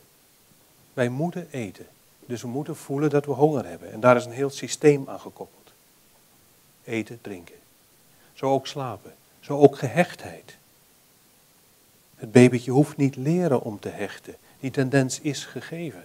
Die ontwikkelt zich natuurlijk wel in het leven, maar in principe is de emotie van in de steek worden gelaten onmiddellijk daar. De, de gehechtheidsschreeuw is er, attachment cry. Ik ben alleen. Wordt gemedieerd door oxytocine. Als het kleintje alleen is, komt oxytocine vrij. Oxytocine zorgt ervoor dat het kleintje lawaai maakt. Moeder hoort dat en als moeder gezond is, niet bezopen of dronken. Nou, nee, dat is hetzelfde. Hè? Uh, on the drugs. Hè? Uh, ja, dan hoort ze dat. Er komt oxytocine vrij bij de moeder.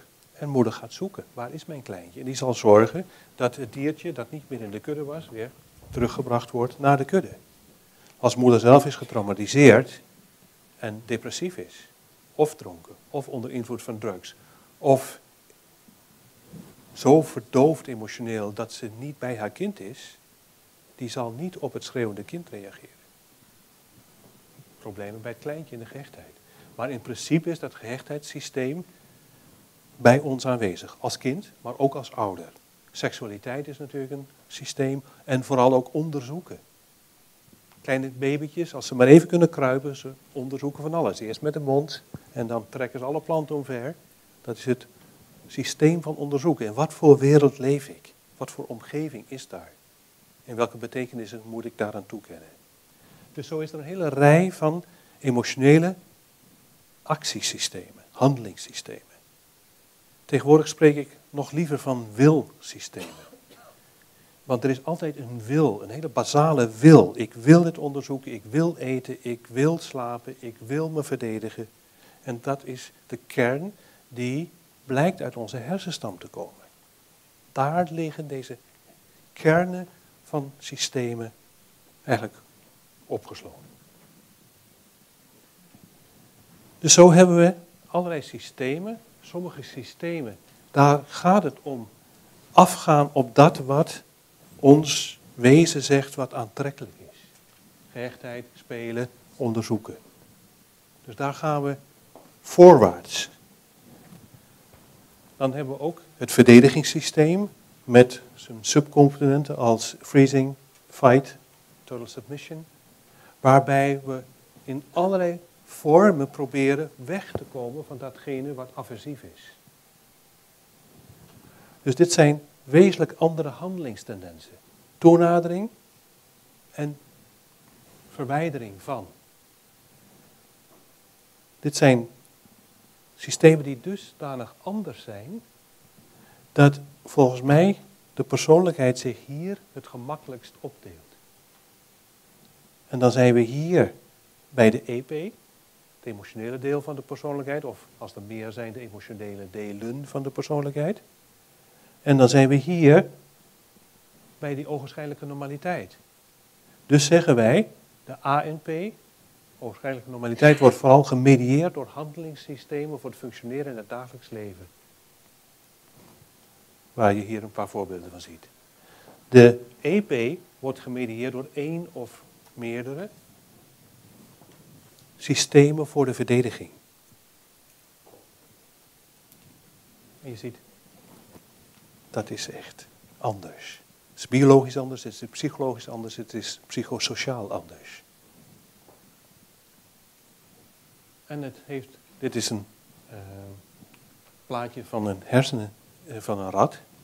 Maar je ziet dat de basale emoties onderzoeken, angst, dat is verdediging, paniek, dat is gehechtheidsschreeuw, en blij zijn, dat is spelen, hebben allemaal hun wortels in het periaqueductaal grijs. Dat is een kern in de hersenstam. In al die systemen is dat de wortel. Dit is allemaal hersenstam en subcorticaal.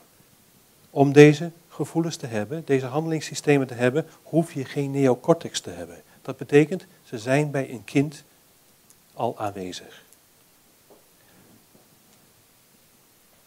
Hier is nog zo'n systeempje, hier bij de mens, dit zijn de menselijke hersenen, hier heb je die hersenstam en daar heb je dat aqueductaal grijs.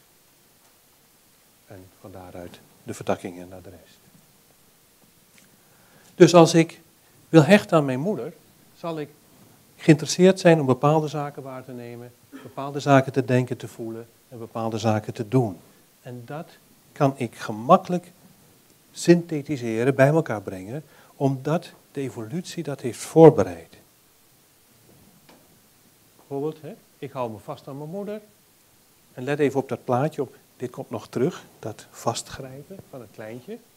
Ik moet bij mijn moeder zijn, anders ga ik dood. Ik moet dus goed vasthouden. En als dat lukt, moet ik er vooral mee doorgaan. Lukt het niet, moet ik steviger grijpen. Als ik bedreigd word, moet ik hele andere zaken waarnemen. Moet ik anders denken, anders voelen en anders doen. Dus ik moet switchen. Hier zijn of daar zijn. Is een volkomen andere organisatie in de persoonlijkheid. En nou is de opgave in onze ontogenese, onze persoonlijke ontwikkeling, om die systemen met elkaar in verband te brengen. Ik moet leren heen en weer te gaan tussen deze affecten en alles wat daaraan verbonden is. Ik moet dat integreren. Ik heb verschillende doelen. Ik heb een verschillende wil. De wil om te eten. De wil om gehecht te zijn bij mijn moeder, me veilig te voelen. De wil om me te verdedigen. En dat moet ik allemaal maar tot een geheel zien te brengen. Zodat al die verschillende handelingssystemen, wilsystemen, energiehuishouding, verdediging, gehechtheid, onderzoeken, spelen, sociale rangorde, sociale dominantie en reproductie en seksualiteit, een mooi geheel gaat vormen, zodat ik gemakkelijk heen en weer kan gaan tussen de ene en de andere emotie. En dat is affectregulatie. En precies dat lukt dus bij dissociatie niet, waardoor je krijgt dat die integratie tussen deze systemen tekort gaat schieten. Oké, hoe dat verder gaat, 20 minuten pauze, kwartiertje pauze, hoe lang hebben we nodig? Zo ongeveer. Het valt niet altijd mee om van handelingssysteem te wisselen. Hè? Laten we teruggaan van spel en sociaal contact naar onderzoeken. Goed, dus in de gedachtegang van de handelingssystemen die ik heb besproken, is het een zaak van persoonlijke ontwikkeling om te leren verbindingen aan te gaan tussen de verschillende handelingssystemen, zodat we uiteindelijk onze affecten kunnen reguleren en ook met ambivalenties om kunnen gaan. Of multivalenties eigenlijk. Wat zal ik doen? Dit of dat? Hier een korte typering van die twee hoofdtypen waarin de persoonlijkheid zich in onze gedachtegang en wat we ook klinisch zien kan opdelen. Die ogenschijnlijk normale, het ogenschijnlijk normale deel van de persoonlijkheid zou vooral worden gemedieerd door handelingssystemen voor het functioneren in het dagelijks leven. En in dat kader moet dat deel de traumatische ellende vermijden. Mentale vermijding. Het heeft. Moet er hier iets gebeuren? Oké, is, is het leesbaar?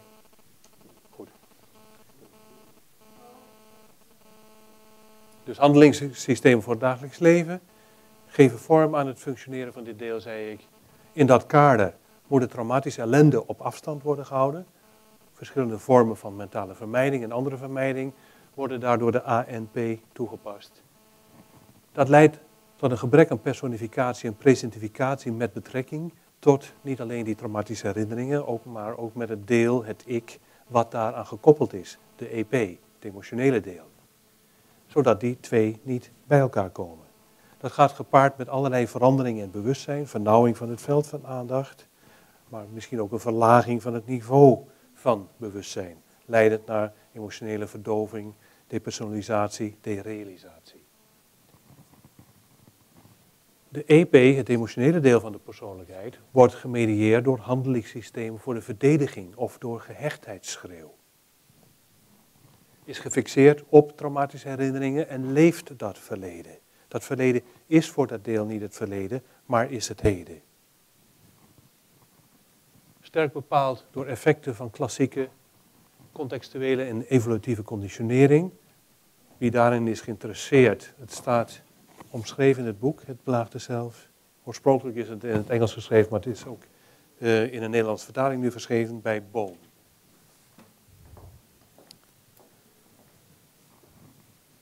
Gedesoriënteerd al dus in plaats, tijd en persoon. Meestal ook een vernauwd veld van aandacht. En een eenvoudiger niveau van functioneren. Dus lagere uh, kwaliteit van handeling. Uh, meer bijvoorbeeld veel meer concreet denken een afwezigheid van de mogelijkheid om abstract te denken. En kan, als het gaat om Totstellung, samengaan met een laag niveau van bewustzijn. Gechtheidsschreeuw, die plaatjes zijn toevallig hoor, dat is louter. Ter illustratie. Vluchten, freezing. En Totstellung. Dus we kunnen EP's hebben gemedieerd worden door dit handelingssysteem en of door dat systeem, vluchten, en of door dat systeem, freezing, of op andere momenten doodstellen. Het kan ook zijn dat je alleen een deel hebt als het zich bedreigd voelt, dat het bewustzijn verliest. Bekend in de psychiatrie omschreven als pseudo-epilepsie. Iemand die rondloopt en opeens weg. En daar ligt mevrouw. Dat kan betrekking hebben op iets dergelijks. En natuurlijk, ieder mens wil het eigen lot kunnen bepalen. Ook al weten we dat dat voor een deel een illusie is, de mate van controle die we hebben over onszelf, toch willen we op zijn minst graag dat gevoel hebben dat we ook iets te vertellen hebben. Wie wil niets te vertellen hebben? Niemand. Dus ook het getraumatiseerde kind wil iets te vertellen hebben. En wie heeft iets te vertellen? Het gezin waarin het groot wordt, inclusief de daders. Vooral de daders hebben de macht in handen. Dus hoe leert een kind dat je invloed hebt? Door macht uit te oefenen. Hoe doet een kind? Kinderen leren door imitatie, vooral door imitatie. Dus het kind gaat de misbruikende personen nadoen. En leeft dat intern uit. Vooral bij vrouwen, ook bij mannen, maar zeker bij vrouwen, krijg je niet een tweedeling tussen één ANP en, zoals ik ze noem, slachtoffer-EP's, dus EP's die zich verdedigen, maar krijg je een driedeling. Een ANP, een EP gemedieerd door deze verdedigingshandelingen en een EP die de macht in handen heeft. En die de ouders nadoet, als de ouders bijvoorbeeld de misbruikers zijn. Dan is er een stem van vader in het hoofd, een stem van moeder in het hoofd. En die zeggen tegen het kind, EP, dat wordt mishandeld, of werd mishandeld, jij deugt niet. Jij verdedigde je niet goed. Of jij hebt vader of moeder boos gemaakt. Dus ik maak jou kapot. En ik snijd jou stuk. En ik maak je dood. Soms in de illusie dat EP-controle zelf die zaak overleeft. Dus er is een Trinity of Trauma, de titel van een nieuw boek waar ik aan werk. Niet een dualiteit. Het zijn drie posities. En die drie posities keren terug op andere niveaus. Veel daders, als zij actief mishandelen, zijn ze uiteraard dat. In de samenleving zijn ze als ANP, ogenschijnlijk normaal. En als je deze heren of dames attaqueert en zegt, jij hebt dit of dat gedaan, dan zijn zij het slachtoffer. Drie posities. De familie. De familie doet alsof er niks aan de hand is, ogenschijnlijke normaliteit. Intern in het gezin is er veel geweld. Wat is dat? Als het gezin wordt blootgesteld aan kritiek van in dit gezin is dat en dat en dat gebeurd, is het gezin het slachtoffer en moet het echte slachtoffer haar mond houden. Want jullie, jij, zet ons te schande. Klassiek. De psychiatrie, ogenschijnlijk normaal. Traumatisering, we willen het eigenlijk niet weten. Dan wordt duidelijk dat die traumatisering er wel is. En wordt steeds duidelijker hoe nauw dat met ons werk in de psychiatrie samenhangt. Dan voelen we ons overbelast. Dan zijn wij het slachtoffer. En als er soms mensen zijn die zeggen dat bijvoorbeeld een stoornis als dis echt is, die we serieus dienen te nemen, omdat het verwijst naar wel de meest erge vormen van mishandeling, dan zeggen we als psychiatrie fantasie, Freud. Het is niet waar. Jullie therapeuten hebben het gesuggereerd.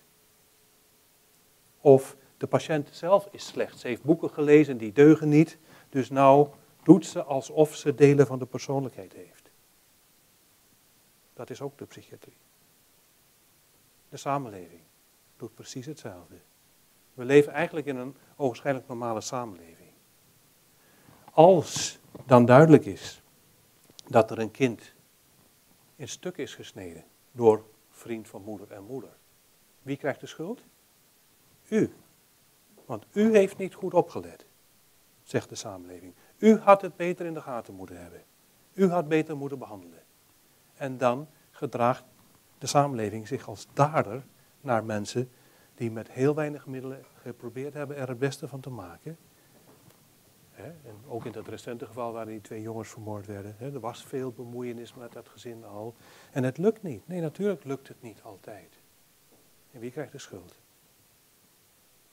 Dan voelt de samenleving zich opeens slachtoffer. Maar als je diezelfde samenleving vraagt, geef ons geld om onderzoek te doen, om ons werk beter te doen, betere opleiding te organiseren, zijn ze niet thuis.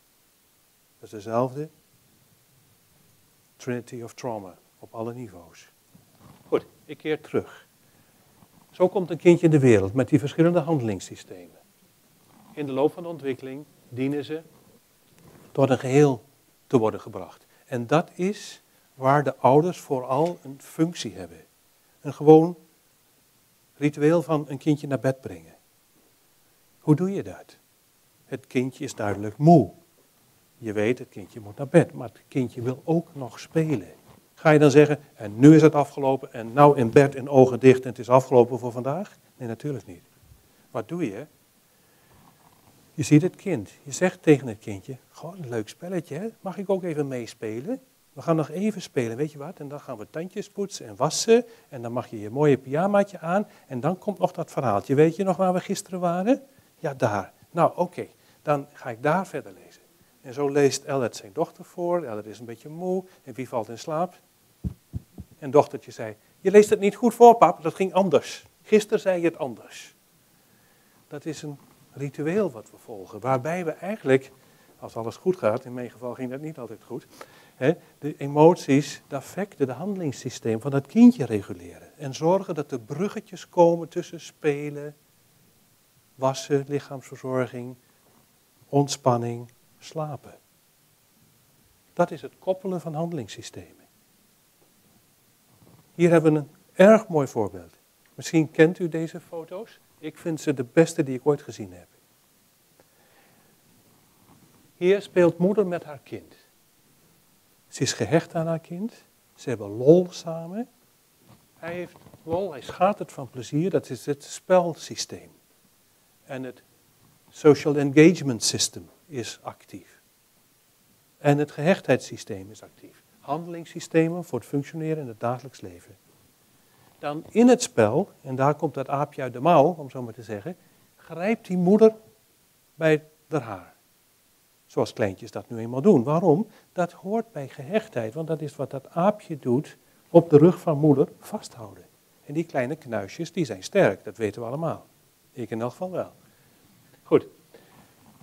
Moeder, vanuit de hersenstam en kernen in het emotionele brein, zoals amygdala, amandelkernen, reageert. Dus eerst weert ze hem hier af, dat is verdediging, in de zin van afweer. En wat doet ze dan? Ze laat haar tanden zien. Weg jij. Hij is geen subject meer, niet meer haar zoon. Hij is een object geworden. Bedreigend. Want hij doet mij pijn. Dat is een ding wat mij pijn doet en dat moet weg. Dan is deze moeder gelukkig gezond. Ze ziet het en ze begint hem te kalmeren. Ze is weer moeder. En ze aait hem een beetje op zijn voetjes.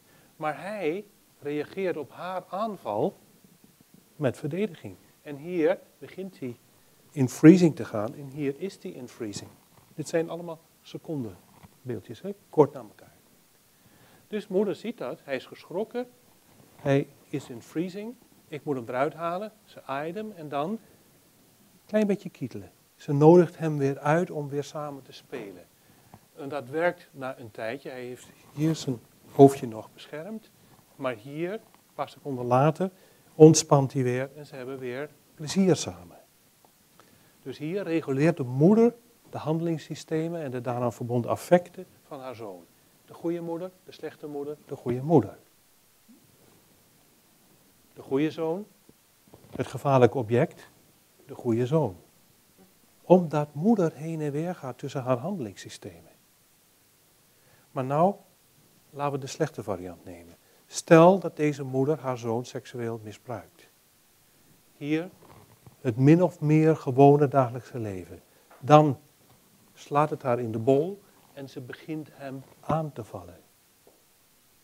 Mishandelt haar zoon. Dan volgt vervolgens niet die geruststelling. Wat moeder dan zegt is, wat daarboven gebeurt, kop dicht en nu eten beneden. Wie really? Wie reguleert daar de affecten van dat kind? Niemand. Dus in onze gedachtegang is het daarom dat die verschillende delen van de persoonlijkheid zich ontwikkelen. Omdat er niemand is die het aan elkaar verbindt. En dat moet sociaal gebeuren. Dat kan een kind niet alleen. Goed. Ehm, in deze samenhang ontstaat wat wij kennen, dat hoef ik u niet uit te leggen, als gedesorganiseerde gehechtheid. Aan de ene kant, als moeder weg is, in de infant strange paradigm bijvoorbeeld. Hè, moeder is weg geweest en moeder komt terug. Zal het kindje dat alleen gelaten was eerst naar mami gaan. En een veilig gehecht kind gaat helemaal naar mami, houdt mami vast, huilt, laat zich geruststellen door moeder en kan dan met moeder weer spelen. En de gezonde moeder wacht tot haar kindje rustig is en komt dan met de uitnodiging om weer samen te spelen. Een kindje met een gedesorganiseerde hechting, of zoals wij het noemen, een dissociatieve gehechtheid, doet het anders. Die gaat eerst in de richting van moeder. Dat is de werkzaamheid van het handelingssysteem van gehechtheid. Ik kan niet alleen zijn, ik moet bij moeder zijn. Maar als dat kindje dichter in de buurt komt van die moeder, die haar zoon of dochter niet goed behandelt, mishandelt of verwaarloost, zal het kind, als het dichter in de buurt komt van die moeder, die moeder gaan waarnemen min of meer als een bedreigend object. Het is gevaarlijk daar. En wat doet het kindje? Het stopt. Je krijgt freezing. Dan kan het zijn dat het kindje zich omdraait, weg van moeder, bij de muur of in een donker hoekje opnieuw verstijft. Soms maken ze boze bewegingen. En soms is het nog zo dat het kindje toch naar die moeder gaat, moeder vasthoudt, maar het lichaam afwendt. In onze uitleg is dat een combinatie van verschillende handelingssystemen. Eerst gehechtheid, dan verdedigingsreacties, freezing, flight, woede, fight, frustratie. En daarna misschien toch weer gehechtheid, maar in combinatie met verdediging. Een gebrek aan integratie van handelingssystemen. Deze dissociatieve of gedesorganiseerde gehechtheid komt veel meer voor in gezinnen met misbruik dan in andere gezinnen. En daar krijg je dus dat die handelingssystemen niet tot integratie komen. En het kind heen en weer flipt tussen verschillende manieren van in de wereld zijn, zou je kunnen zeggen. En in die context van chronische mishandeling is het zelden zo dat je een eenvoudige opdeling krijgt van 1 ANP, 1 EP. Veel vaker zien wij, en dan hebben we het nu echt over de dissociatieve stoornissen, dat er ook een opdeling is in verschillende EP's. Een voorbeeld hier is dat 1 EP typisch wanneer het kind zich bedreigd voelt, freezing gedrag laat zien. Een ander laat vechtgedrag zien. En weer een ander onderwerpt zich volkomen bij bedreiging. En gaat parasympathisch doodstelling laten zien. Nog steeds één ANP in deze prototypische opstelling.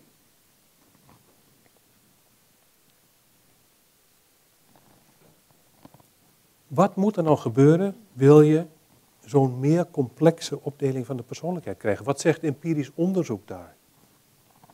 Wat zijn de predisponerende of de risicofactoren voor dissociatieve symptomen? Ik heb het niet over stoornissen, maar over symptomen.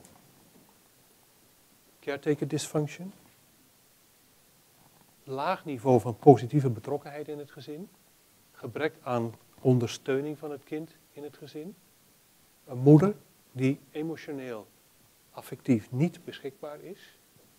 Moeder die verliezen heeft geleden en zelf ernstige dingen heeft meegemaakt.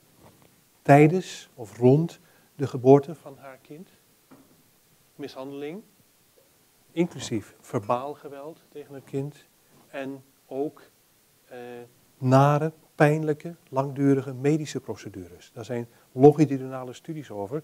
Dat vroege frequente operaties, zoals die wordt gedaan bij kinderen die geboren worden zonder anus, die veel operaties moeten ondergaan en waarbij de dilatatie moet plaatsvinden, waarbij die kunstmatige opening van het lichaam iedere keer weer wordt opengehouden. Dat moest door de ouders worden gedaan, een vreselijke procedure.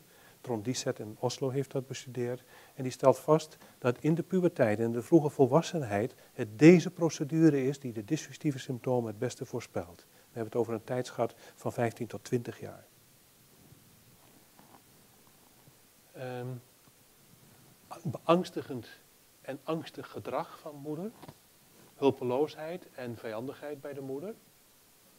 En blootstelling van zowel de moeder en het kind als, eh, zowel moeder als kind aan woede. Soms van, van vader.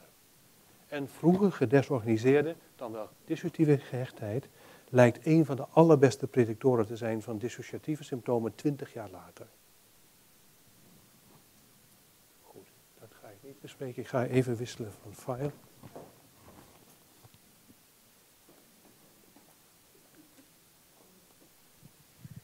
Ja, ik had een vraag. Waar komt de vader om de hoek kijken?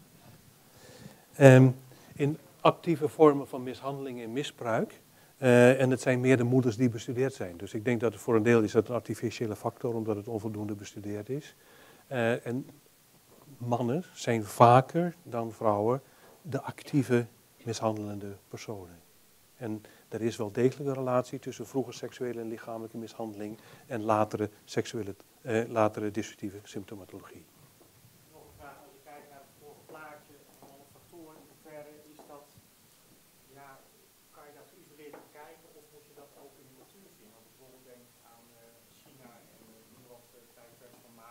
Ja. Dan zou je toch zeggen dat als je al die factoren bekijkt van dissociatie, dat dat nog bovengeschaald voorkomen. Uh, nou, dat is ook niet helemaal uh, onwaar. Uh, er zijn studies gedaan in China waarvan gezegd werd dat is een land waar dissociatieve stoornissen niet voorkomen.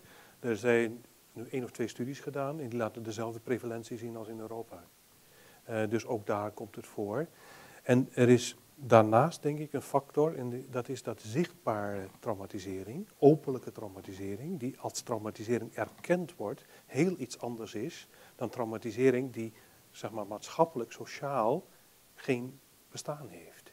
Iets wat er niet is, dat is iets anders. Zou je kunnen zeggen dat dan de lading van het trauma, oh, de lading van het trauma daar anders is omdat dat kennelijk algemeen geaccepteerd is, bedoel je? Of? Nee, ik, ik uh, denk dat uh, niet omdat het geaccepteerd is, maar omdat het meer erkend is. Uh, omdat velen zeg maar, ja, onder okay, diezelfde invloed staan, is er veel meer... Gedeelde lotgenoten bedoel ik? Ja, dat denk ik. En dat, en dat werkt eigenlijk beschermend? Ik veronderstel China. dat. Ja, ja. ja, ik kan het niet met onderzoek aantonen, Nee. maar ik veronderstel het wel. Ja. Ik weet het in zoverre enigszins te onderbouwen dat bij die dispatiënten die ik behandel, die het goed doen in de behandeling, is er toch veelal in de jeugd ergens iemand geweest, een goede buurvrouw, een lieve oma, die heel veel heeft opgevangen. Niet noodzakelijkerwijs in de zin van het kind hebben kunnen beschermen tegen het geweld, maar wel het kind hebben gezien, hebben opgemerkt. En meer recente uh, bevindingen laten zien dat te midden van alle traumatiserende factoren uh, de emotionele verwaarlozing misschien wel de ernstigste is. Bijvoorbeeld zelf dat ook omdat daar de ideologie zo sterk is, dat Ja. dat ook meer collectief is dan, Ja. dan bij ons, waar, waar Ja. toch het in isolatie plaatsvindt. Dat denk ik. ik. Ik denk dat collectief trauma beter gedragen wordt dan geïsoleerd trauma wat te weinig erkenning krijgt, gezien wordt. Verder is het natuurlijk zo dat al die factoren die ik daarnet liet zien zelden in isolement voorkomen. Het is, is natuurlijk vaak geclusterd. Voor de zekerheid ook. Kunnen we het allemaal nog... eh, ja, ik heb een stukje het boek gelezen, dus ik, maar ik, ik zei in het begin van, nou, het is niet zo heel eenvoudig. Ik kan me ook best voorstellen, als je dit voor het eerst hoort, even voor de zekerheid, zijn er nog verhelderingsvragen op dit moment, voor, voordat dat je het gewoon goed kunt blijven volgen? Is het, eh, is het helder of wil iemand een, een, gewoon een verhelderingsvraag op zich stellen van hoe zit dat nog maar of hoe zit dat maar, of is het nog goed te volgen? Misschien ben ik wat te veel docent of zo dat ik dat, ik dat nog, eh, dat, Nou, ik ben blij dat je het vraagt, het is zeker goed. wel goed te volgen, maar ik hoop ook dat er eh, ook nog ruimte is eh, voor behandeling, zeg maar. Ja. En. Ja. Soms is het Oké. zo'n interessant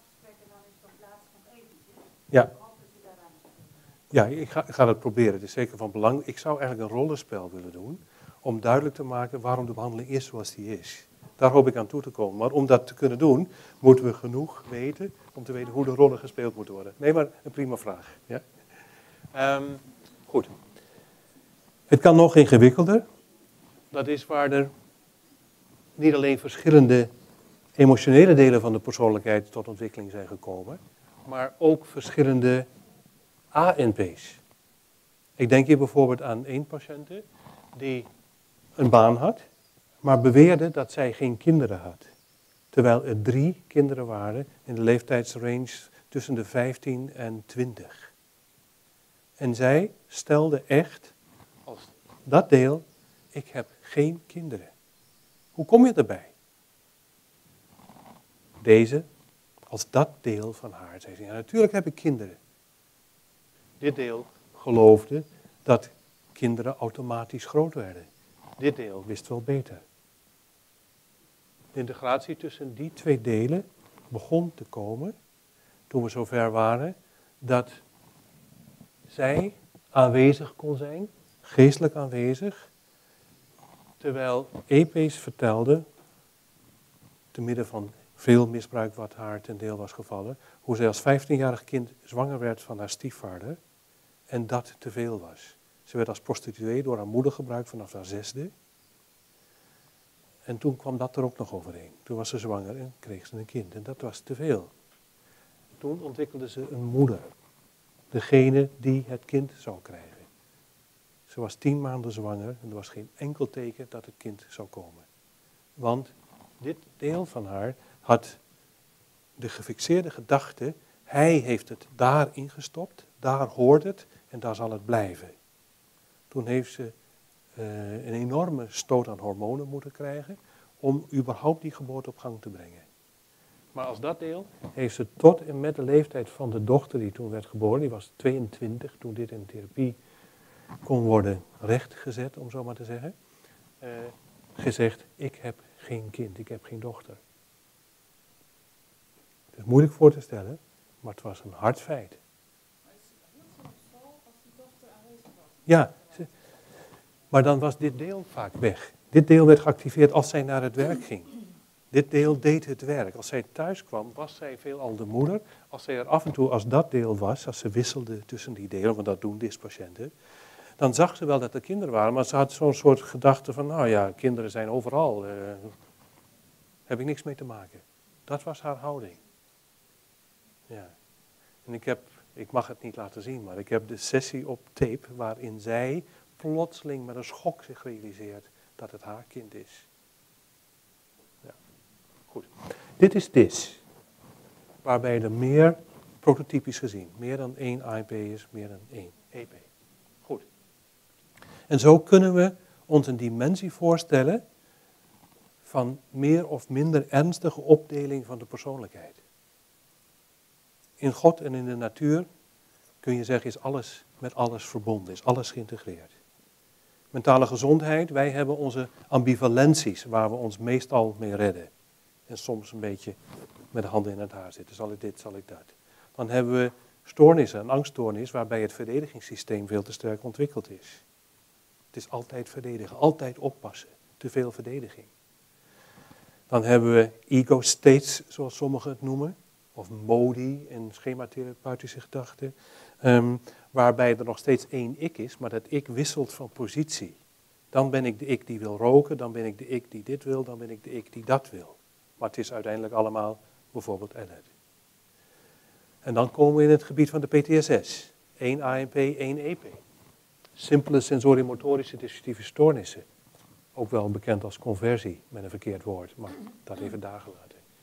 Primaire opdeling van de persoonlijkheid. Eenvoudig complexe PTSS, complexe sensorimotorische dissociatieve stoornissen, complexe, uh, nee dit heet dissociative disorder not otherwise specified, uh, een soort mini-vorm van DIS, de geringere vorm, secundaire opdeling.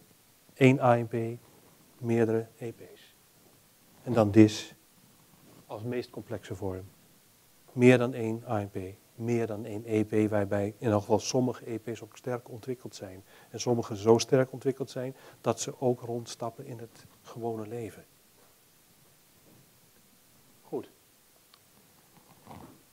Is dat een beetje onzin wat ik hier sta te vertellen of kunnen we dat empirisch onderbouwen? Ik kan veel argumenten geven waarom ik denk dat dit een zinnige manier van kijken is, die gedragen wordt door feiten, maar ik geef alleen maar een paar voorbeeldjes. Hier, um, kijken we naar lichamelijke uitdrukkingsvormen van dissociatie. Ik, eh, collega's en ik hebben de Somatoform Dissociation Questionnaire ontwikkeld. Een 20 uh, vragenlijst, een vragenlijst die 20 items omvat. Is, uh, goed, geeft goede psychometrische eigenschappen. Is gepubliceerd in Somatoform Dissociation, een boek onder mijn naam. veel artikelen over gepubliceerd. Dat is een goed instrument. En die stelt symptomen vast zoals analgesie, ongevoelig zijn voor pijn anesthesie, mijn lichaam niet voelen. Ehm, niet kunnen bewegen. Ik wil bewegen, maar ik kan niet. Ik ben verstijfd. Of ik wil mijn arm wel bewegen, maar hij is lam. Ik kan hem niet bewegen. Dat soort van fenomenen beschrijven wij als sensorimotorische of somatoforme dissociatieve symptomen. De minimumscore op die lijst is 20, de maximumscore, theoretisch maximum, is 100. Als somatoforme dissociatie onderscheidt tussen de ernst van opdeling in de persoonlijkheid, en als dat aan stoornis is gekoppeld, dan zou je een opklimmende reeks verwachten. Dan zou het zo moeten zijn dat angststoornissen, niet zijnde PTSS, niet samengaan met deze somatoforme dissociatieve klachten. En dat doen ze niet, want de score, zoals wij hem vinden bij angststoornissen, is heel laag. PTSS gaat naar 35 als gemiddelde score. Een sprong omhoog. Dan geringe, de, de, de geringe vormen van DIS, sprong omhoog, gaat naar gemiddeld 45. En bij DIS is het 55. En we zien een lineair opklimmende reeks. Dat is zelfrapportage, zou je kunnen zeggen. Goed, ik vind dat zelfrapportage onderschat wordt in de wetenschap, maar afgezien daarvan, laten we ook eens kijken of we hardere gegevens kunnen produceren, zoals het dan heet. Eerst maar dit. Ehm, er wordt door critici beweerd dat dispatiënten in het kielzog van het ideeën, aloude ideeën of hysterie, buitengewoon fantasierijk zijn en suggestibel. Dus zou dat hele beeld alle symptomen die daarmee samengaan een gevolg zijn van suggestie. Is dat zo? Dat hebben deze critici niet onderzocht. Dat dient u goed te weten. Ze maken veel lawaai, maar hebben weinig onderzocht als het om dis gaat. Er wordt gesteld, in iedere keer weer dat je erover leest, elke keer weer als je de kritiek hoort, wordt gesteld dat dispatiënten hoog fantasierijk zijn. Maar die hypothese is door dezezelfde mensen nooit empirisch onderzocht. Het is een bewering. Dus heb ik het gedaan een collega. Ik heb 50 dissociatieve patiënten genomen, dispatiënten, en heb hun mate van fantasierijkheid met een daarvoor geëigende schaal onderzocht. Hier. Mentaal gezonde vrouwen in Nederland hebben een score op deze Creative Experiences Questionnaire van ongeveer 9. Schizofrenie heeft wat minder veel symptomen, dat komt, eh, minder veel fantasie. Dat hangt waarschijnlijk samen met de negatieve symptomen. Gaan we naar hier. Toneelspelers, veel fantasie. Nog meer fantasie bij degenen die ervan houden om paranormale beurzen te bezoeken. En nu wordt het spannend. BPD staat hier voor Borderline Personality Disorder. Zijn meer suggestibel dan zelfs de bezoekers van de paranormale beurzen. Maar wie in, maar wie in de psychiatrie, en daar, daar gaat het om, zegt dat borderline een gevolg is van suggestie. Maar dat zou je moeten doen als je zegt dat fantasie zo'n kritische factor is. Want als je nu vergelijkt tussen borderline hier en dis, dan zie je dat dis lager fantasierijk is. En dat het verschil tussen mentaal gezonde vrouwen en vrouwen met dis minimaal is.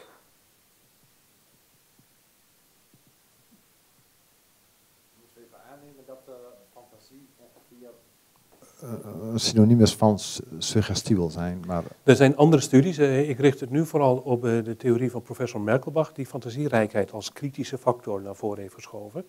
Maar wij vinden het niet terug. Uh, er is een correlatie tussen uh, fantasierijkheid en suggestibiliteit. En ook de suggestibiliteitstesten wijzen uit dat dit niet hoog suggestibel is. Dat past niet. Ja? Maar het is wel dat, dat, dat uh, we heel, heel vaak ervaring hebben. Kijk, het gaat om suggestibiliteit, maar die zijn vaak toch wel hoger hypnotiseerbaar. Die ervaring. Ook niet samenhangen. Maar Ja, klopt. En daar heeft u gelijk, dat, hangt, dat correleert niet echt samen. Sommige dispatiënten zijn hoog uh, hypnotiseerbaar, maar andere weer niet. Het is niet een constante factor binnen de dis. Ja. Dus daar lijkt, er zijn verschillende vormen van suggestibiliteit. Ja. Dus dat moet in ogenschouw worden genomen. Wij hebben ons geconcentreerd op uh, de gedachtegang van Merkelbach. Die zegt het is de fantasierijkheid die het hem doet. En die doet het hem niet. Maar doet suggestie het dan wel?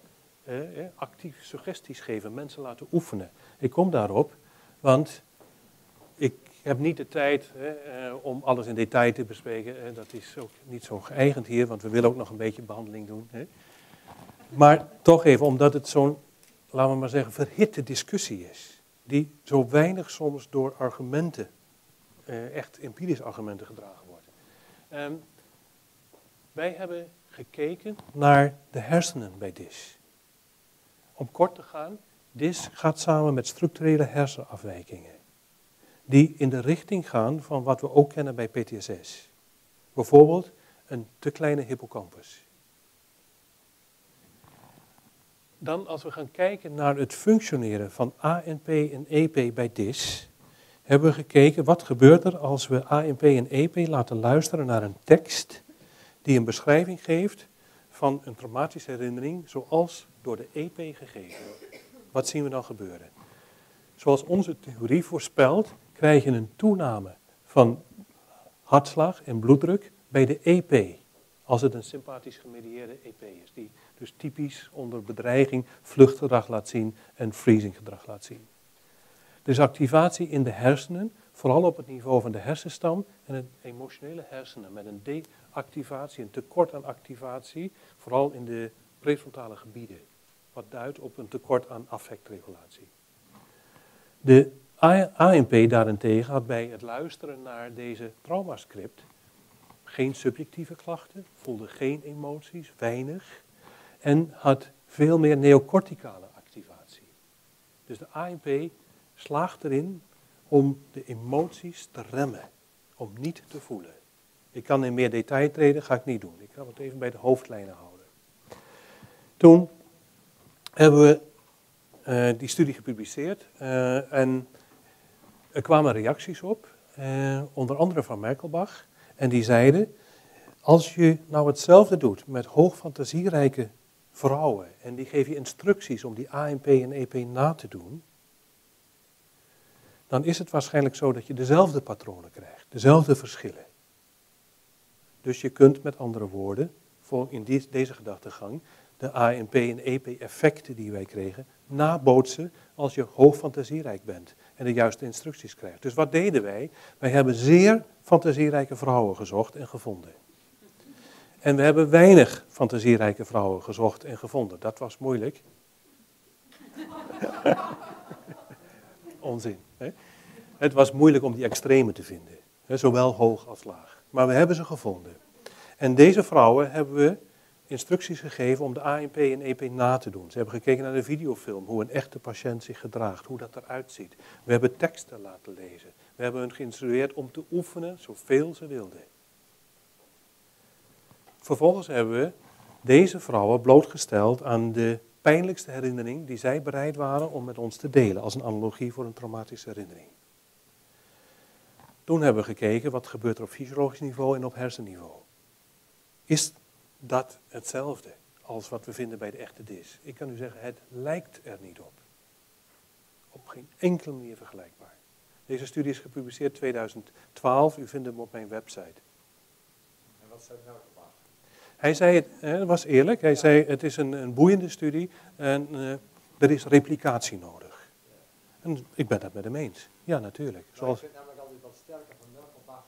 Die heeft ook uh, tegen een van de sprekers, ik weet niet van de vorige keer gezegd, van, uh, van je moet dus samen onderzoek doen met, met, met, met mensen die een andere hypothese hebben. Dat je gezamenlijk onderzoek doet. En ik, ik vond dat heel erg met hem eens zijn. Ik, vind, ja. ik zou het wel mooi zijn als mensen van twee verschillende kanten tegen één theorie aankijken. Ik zou wel willen zeggen, sluit ze allemaal maar op in één gebouw. Ja. En je komt er pas weer uit als je een Ja. onderzoekopzet hebt met resultaten die je beide en die leiden tot min of meer een belegging van de ene en een, Ja. of een nieuwe convergentie. Dat Ja, ook- ik ben het helemaal met je eens, maar dan zou ik meteen zeggen dat moeten heel veel wetenschappers doen Nou ja, op allerlei niveau, niet alleen bij DIS. nee, hè? dat, Het is een dat- algemeen probleem. zeker, hoor, Afgezien daarvan- dat vind ik wat sterker van Merkelbach dat hij daar Ja. eh, Prima, hè? ik vind ook we moeten het uiteindelijk empirisch beslissen. Het was wel zo dat de hoofdonderzoekster in ons onderzoek in het begin niets van DIS wist en het ook niet per se wel of niet geloofde. Zij was heel neutraal.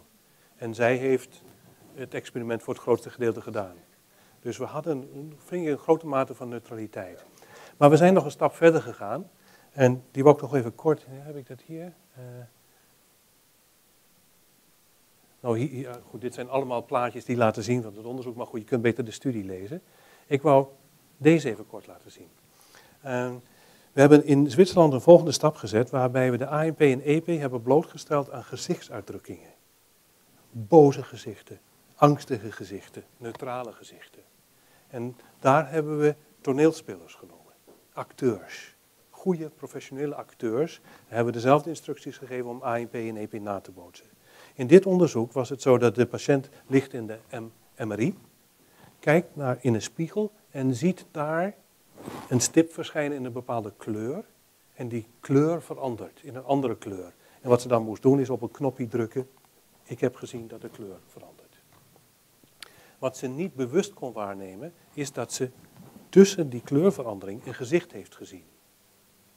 Dat heet subliminale waarneming. De exposure tijd was maar 17 milliseconden. En dat is te kort voor onze hersenen, voor ons, om een bewuste waarneming te hebben. Dus we hebben ANP en EP blootgesteld aan iets wat ze helemaal niet bewust konden sturen. Ze konden alleen zichzelf zijn en ze konden hun reacties niet sturen. En wat we desondanks zagen is dat de ANP en EP verschillende reacties hebben. Niet alleen op een boos gezicht, maar op een neutraal gezicht. En dat is klinisch heel relevant. Ik ga dat zo dadelijk uitleggen. Ik wil eerst zeggen dat de toneelspelers er helemaal niet in slaagden om dat na te doen. Want hier hebben we de echte EP vergeleken met de controle EP bij het zien voorbewust van neutrale gezichten. En dan zien we activiteit in de hersenen, inclusief de hersenstam. Ik ga die gebieden niet gedetailleerd bespreken. Dat neutrale gezicht, dat is klinisch relevant. Ik denk dat u allemaal vertrouwd bent met het still face paradigm. Dat zegt u wel wat. Een kindje raakt in de war als moeder eerst emotioneel geëngageerd is. Moeder is aanwezig en dan krijgt ze de opdracht in het kader van het experiment om dat te doen. En die kindjes raken helemaal in de war. In dit onderzoek had ik gedacht dat het boze gezicht heel veel zou oproepen, maar het bleek dat het neutrale gezicht meer onrust bij de EP, niet bij de ANP, maar bij de EP teweeg brengt dan het boze gezicht. Het boze gezicht is bekend, maar dat neutrale gezicht, wat gaat het doen? Als je dit even snel vertaalde, natuurlijk had ik, zou ik eh, die argumentatie zorgvuldiger moeten opbouwen om het precies te doen, maar het mondt uit in de conclusie dat wij als klinici geëngageerd moeten zijn. Omdat vooral de EP van onze houding van abstinentie kennelijk helemaal in de raakt. Dus de klassieke psychoanalytische abstinentie werkt voor deze patiënten heel slecht uit. Als wij proberen rustig iets te beoordelen en niet meegesleept te worden in de wereld van de patiënt, en we houden ons terug of we denken het zal wel dat dissociëren, dan zijn we niet aanwezig. We zijn te neutraal en de patiënt zal problemen krijgen. Suggereert dit onderzoek. Denk daar maar eens over na. Goed, hoe moeten we dan behandelen? Nou, ik wou hier mijn slides gaan verlaten. Uh, dus het mag wel even uitgeschakeld worden. En ik zou drie stoelen hier willen hebben op het toneel. En drie deelnemers vragen of ze bereid zouden zijn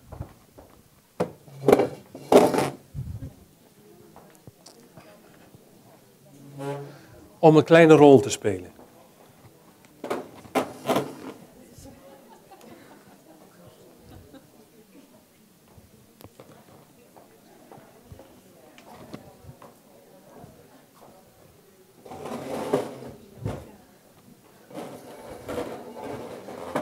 Wie zou eens, om zo te zeggen, willen functioneren, een kwartiertje of zo, als ANP? Ik voel niet veel, ik ben wat gedepersonaliseerd. Ja, er is ellende, maar daar wil ik het maar niet over hebben. Daar wil ik niet naartoe, want dat strookt niet met mijn belangen. Graag één ANP. Prima, kom maar. En dan zou ik twee EP's willen hebben. Eén EP, een angstig kind. Gevangen in ellendige herinneringen. Die hoeven niet te worden gedetailleerd, het gaat alleen om het idee. De wereld is bedreigend. Er zijn veel ongeconditioneerde en geconditioneerde stimuli in mijn leven geweest. Dus ik voel de wereld als bedreigend. Maar ik word ook gemedieerd door een gehechtheidssysteem. Ik heb een gehechtheidsschreeuw, want niemand wil mij en iemand moet mij zien. Dus ik ben angstig, maar ik heb ook een behoefte om bijvoorbeeld door een therapeut gezien te worden. Daarnaast een tweede EP en dat is de EP-controle, zoals ik het noem. Dat is de behoefte van een kind om net zo machtig te zijn als de dader van het geweld. En ah, doet daarom dat gedrag na. En zal ervoor moeten zorgen dat er nooit enige gehechtheid komt. Want dat, zegt EP-controle, is het slechtste van wat je kan overkomen. Want juist omdat die stomme EP-slachtoffer, die stomme trut, dat domme kind, behoefte had, waren wij kwetsbaar. En ik wil niet kwetsbaar zijn. Dus ik heb een grote mond. Want ik doe na zoals de dader deed. Want zo heb ik gezien dat je macht hebt. Dus dat doe ik. Goed, twee EP's graag. Dan doe ik een beetje een therapeut na. En doe even een beetje alsof ik niet helemaal goed snap wat er aan de hand is. Om te laten zien hoe dat voelt, hoe dat is. Goed, mag ik? Een beetje medewerking? Ja, kom maar, het is niet gevaarlijk. En het is gauw weer over.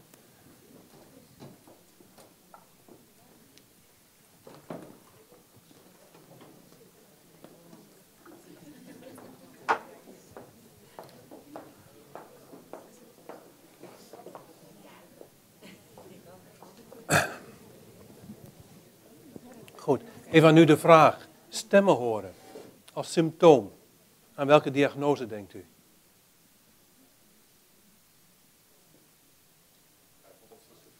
Bijvoorbeeld schizofrenie. Als stemmen horen samengaat met veel Kurt Schneider symptomen. Dus veel intrusies. Als er worden emoties in mij gemaakt. Er worden gevoelens in mij gemaakt. Waar denkt u dan aan? Nog sterker aan schizofrenie. Of wat kan het ook nog wezen?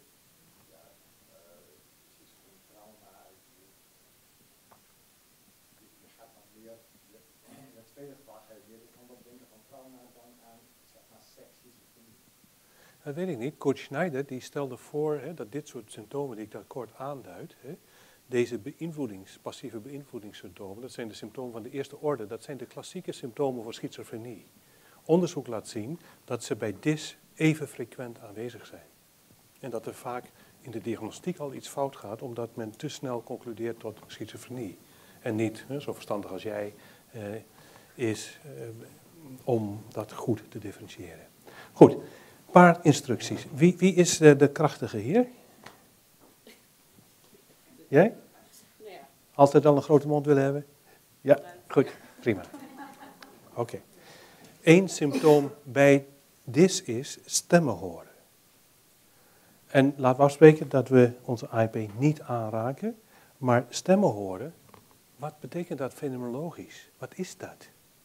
Wat is over nagedacht wat dat is om stemmen te horen die in je hoofd toeteren? gaan we hier, als het goed is, een beetje nadoen. Als het je te veel wordt, dan zeg je maar stoppen, ik wil niet meer, dan gaan we stoppen. Maar als jij invloed wilt hebben op haar, mag ik je en jij zeggen? Goed. Als jij als EP-controle invloed wilde hebben op haar of op haar, in de oren praten. En zo luid als het moet zijn, zoals jij vindt dat het bij jouw rol past. ANP en EP-slachtoffer mogen zich niet aan mij echt openbaren. Zo. Niet vertellen. Want dat gaat veel te veel in de richting van contact. En contact mag niet. Dus bij jouw rol hoort het ook om te verbieden dat ANP over veel symptomen praat. Zodra het gevaarlijk wordt, heb jij een taak. Oké? En je doet het daadkrachtig. Eh, veel ellende meegemaakt in de rol. Eh, dus ook schichtig en bang.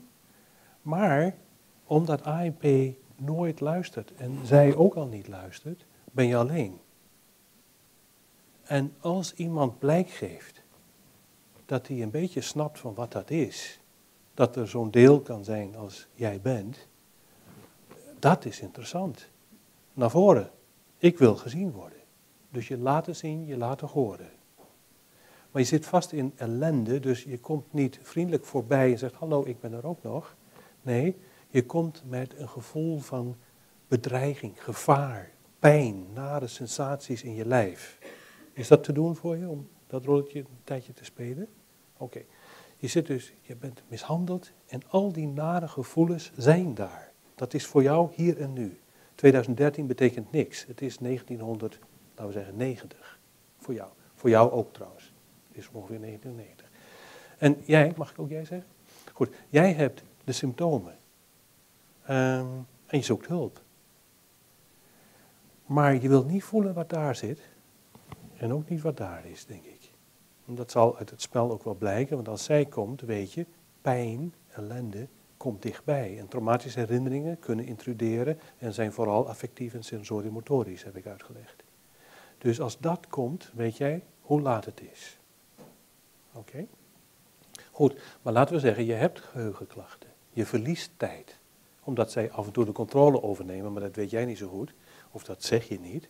Maar er zit een gaten in de tijd. Je voelt je gedepersonaliseerd, gederealiseerd. En je hebt die symptomen zoals je ze hebt als stemmen horen. Oké? Okay? Eens kijken hoe jij daarmee omgaat, wat er dan gebeurt.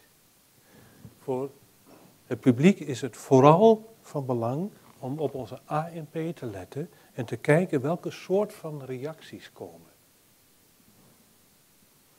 Niet alleen verbaal, maar ook non-verbaal. Hoe ziet, om maar zo te zeggen, het lichaam, het gezicht eruit? Goed. Um, zal ik uh, de naam Karin gebruiken? Dat is niet toevallig je naam? Nee, oké, goed. Uh, oké, nou, uh, laten we een beetje diagnostiek nadoen.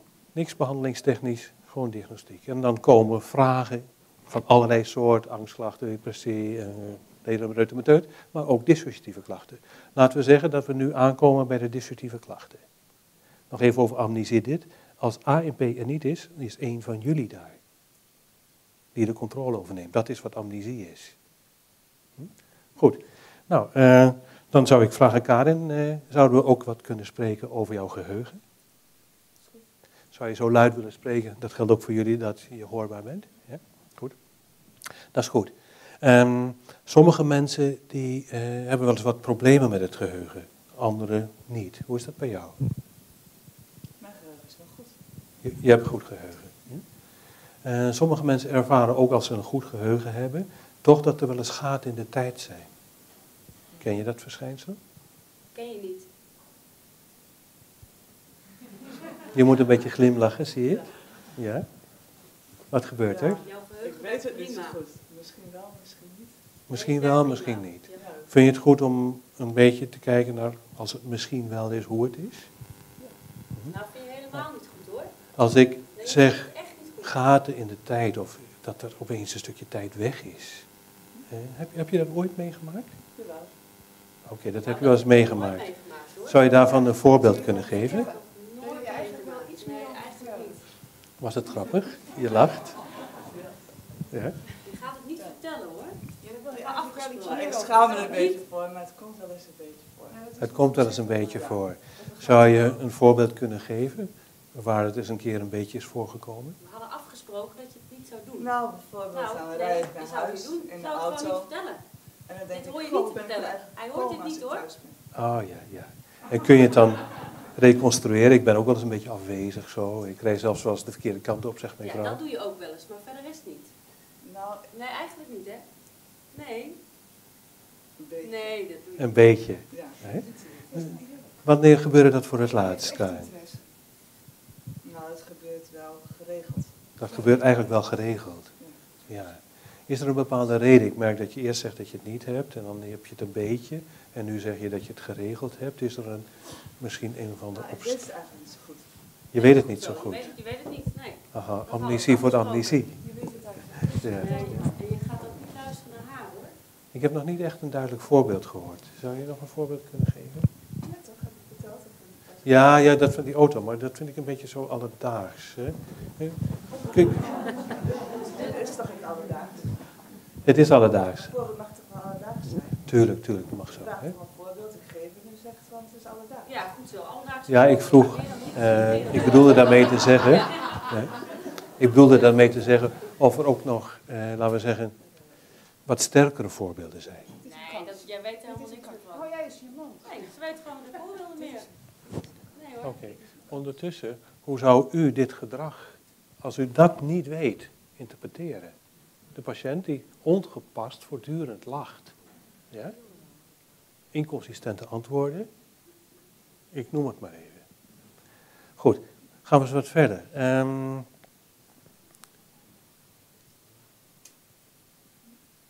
sommige mensen, ik, ik maak een hele sprong in het interview, ehm, horen wel eens, eh, voelen dat er wel eens gedachten in hun opkomen. Ha, dat slaat echt nergens op. Ja? Dat heb je niet. Ja, voortdurend. En sommige mensen zeggen dan wel eens dat die gedachten als het ware geen eigen gedachten zijn. Dat ze verrast zijn door wat er gedacht wordt. Ken je dat? Al mijn gedachten zijn eigen gedachten. Al, alle gedachten zijn eigen gedachten. Oké. Sommige mensen horen wel eens stemmen. Ja, niet mijn stem bedoel ik nu, maar stemmen in of buiten het hoofd. Die niet gekoppeld te lijken zijn aan mensen die spreken. Ik praat wel eens een beetje in mezelf. Ja, maar dat doet iedereen. Ja, Oké, kun je daar een voorbeeld van geven hoe je dat doet? Nee, het is heel normaal. Nou, dan heb ik twee verschillende kanten van een kwestie. Ja? En heb ik een soort innerlijke dialoog. Aha, oké. En in de, in de dialoog, wat in de dialoog opkomt, is dat altijd wat je min of meer wel verwacht? Of zijn daar wel opeens wel eens dingen die gedacht of gezegd worden, die je hoort, die je verrassen? Die niet zo goed bij jouw ik passen? Hele normale dingen, denk jij. Ja, Je begrijp denkt best dat je hele normale dingen, hoor. Ik snap niet zo goed wat je bedoelt. Nee, goed zo. je Ja, begrijp, begrijp. Oké. Ik, ik zeg het, on- ontkenning en ontwijken bij ANP is heel normaal. En heel vaak, ik weet het niet. Als het spannend is. Dat is niet altijd zo, maar... Nee. Eh, dus zou je zeggen dat jij geen stemmen hoort? Goed zo. Ehm, Klopt. ik hoor wel eens stemmen, Je hoort wel eens stemmen. hm? En waar praten die stemmen over? maar ik heb het gevoel dat ik dat zelf eigenlijk ben. Aha, In mezelf ja, ja. Dat weet je zeker?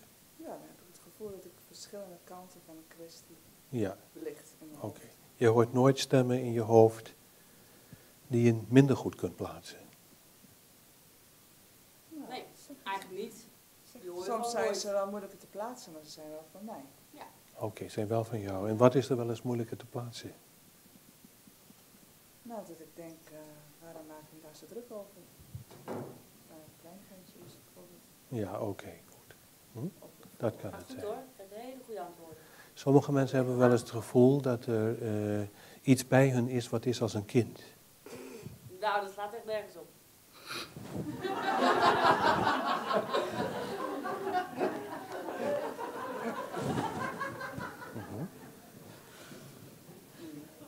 Ik heb volwassen kinderen.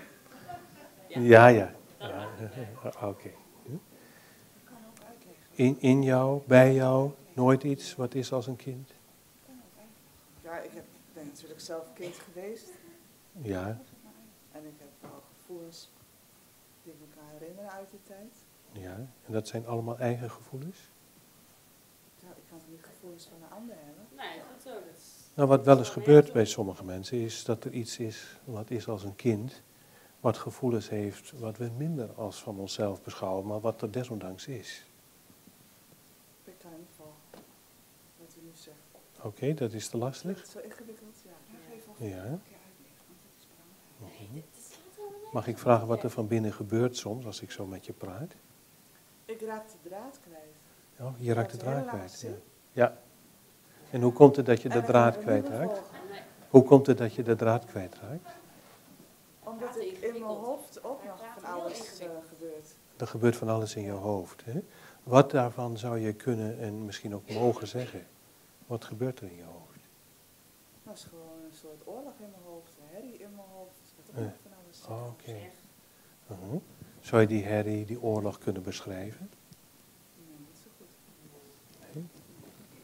Mhm. Hoe, hoe zou ik dat ongeveer kunnen begrijpen, Karen, wat er in jouw hoofd gebeurt? Oh, niet vertellen, dat is wel zo makkelijk. Ik ben er ook vanaf. Heb je ook geen lastige vragen nu? Ehm, Ja, ik vind het wel lastig, want lastig. u legt mij iets uit of u vraagt mij iets en Ja. ik volg de vraag niet. En in plaats van dat u de vraag gaat herhalen, Ja, moet ik uitleggen waarom ik de vraag niet kan volgen. Ja, goed ja zo. dat kan belangrijk zijn. Val hem maar aan hoor.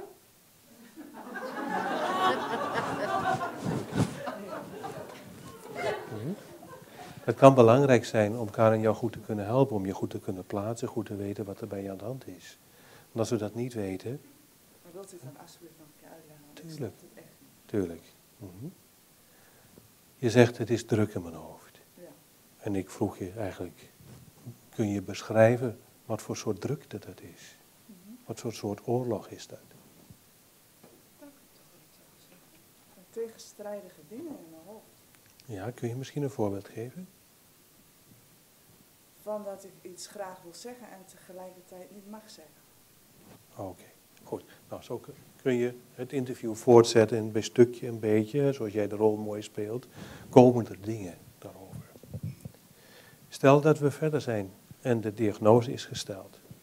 Hm, Op grond van echt goed onderzoek. Er wordt niet over één nacht ijs gegaan, er wordt goed onderzocht. Ehm, hoe moeten we deze club behandelen? Wat moeten we doen? Want als de behandeling goed gaat, komt er meer vertrouwen, meer gehechtheid, komt meer openheid. Maar hoe meer openheid er komt, des te meer jij onder druk komt te staan.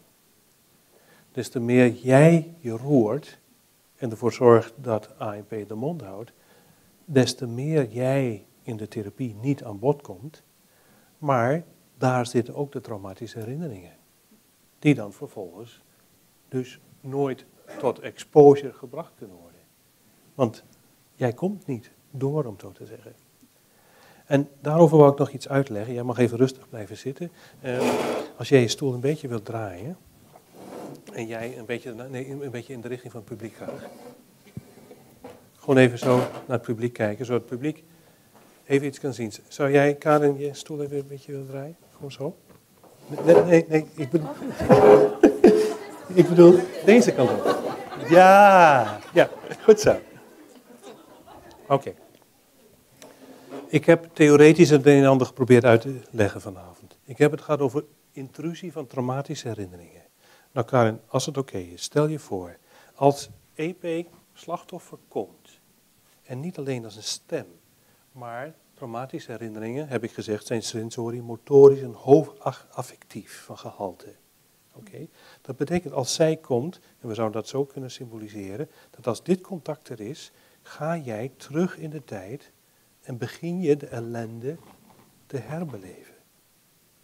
Zoals in een, bij Charlotte Delbo, een nachtmerrie. Dan zit je er middenin. Wat zou jij dan geneigd zijn te doen vanuit jouw positie als ANP, als deze intrusie komt? Oké.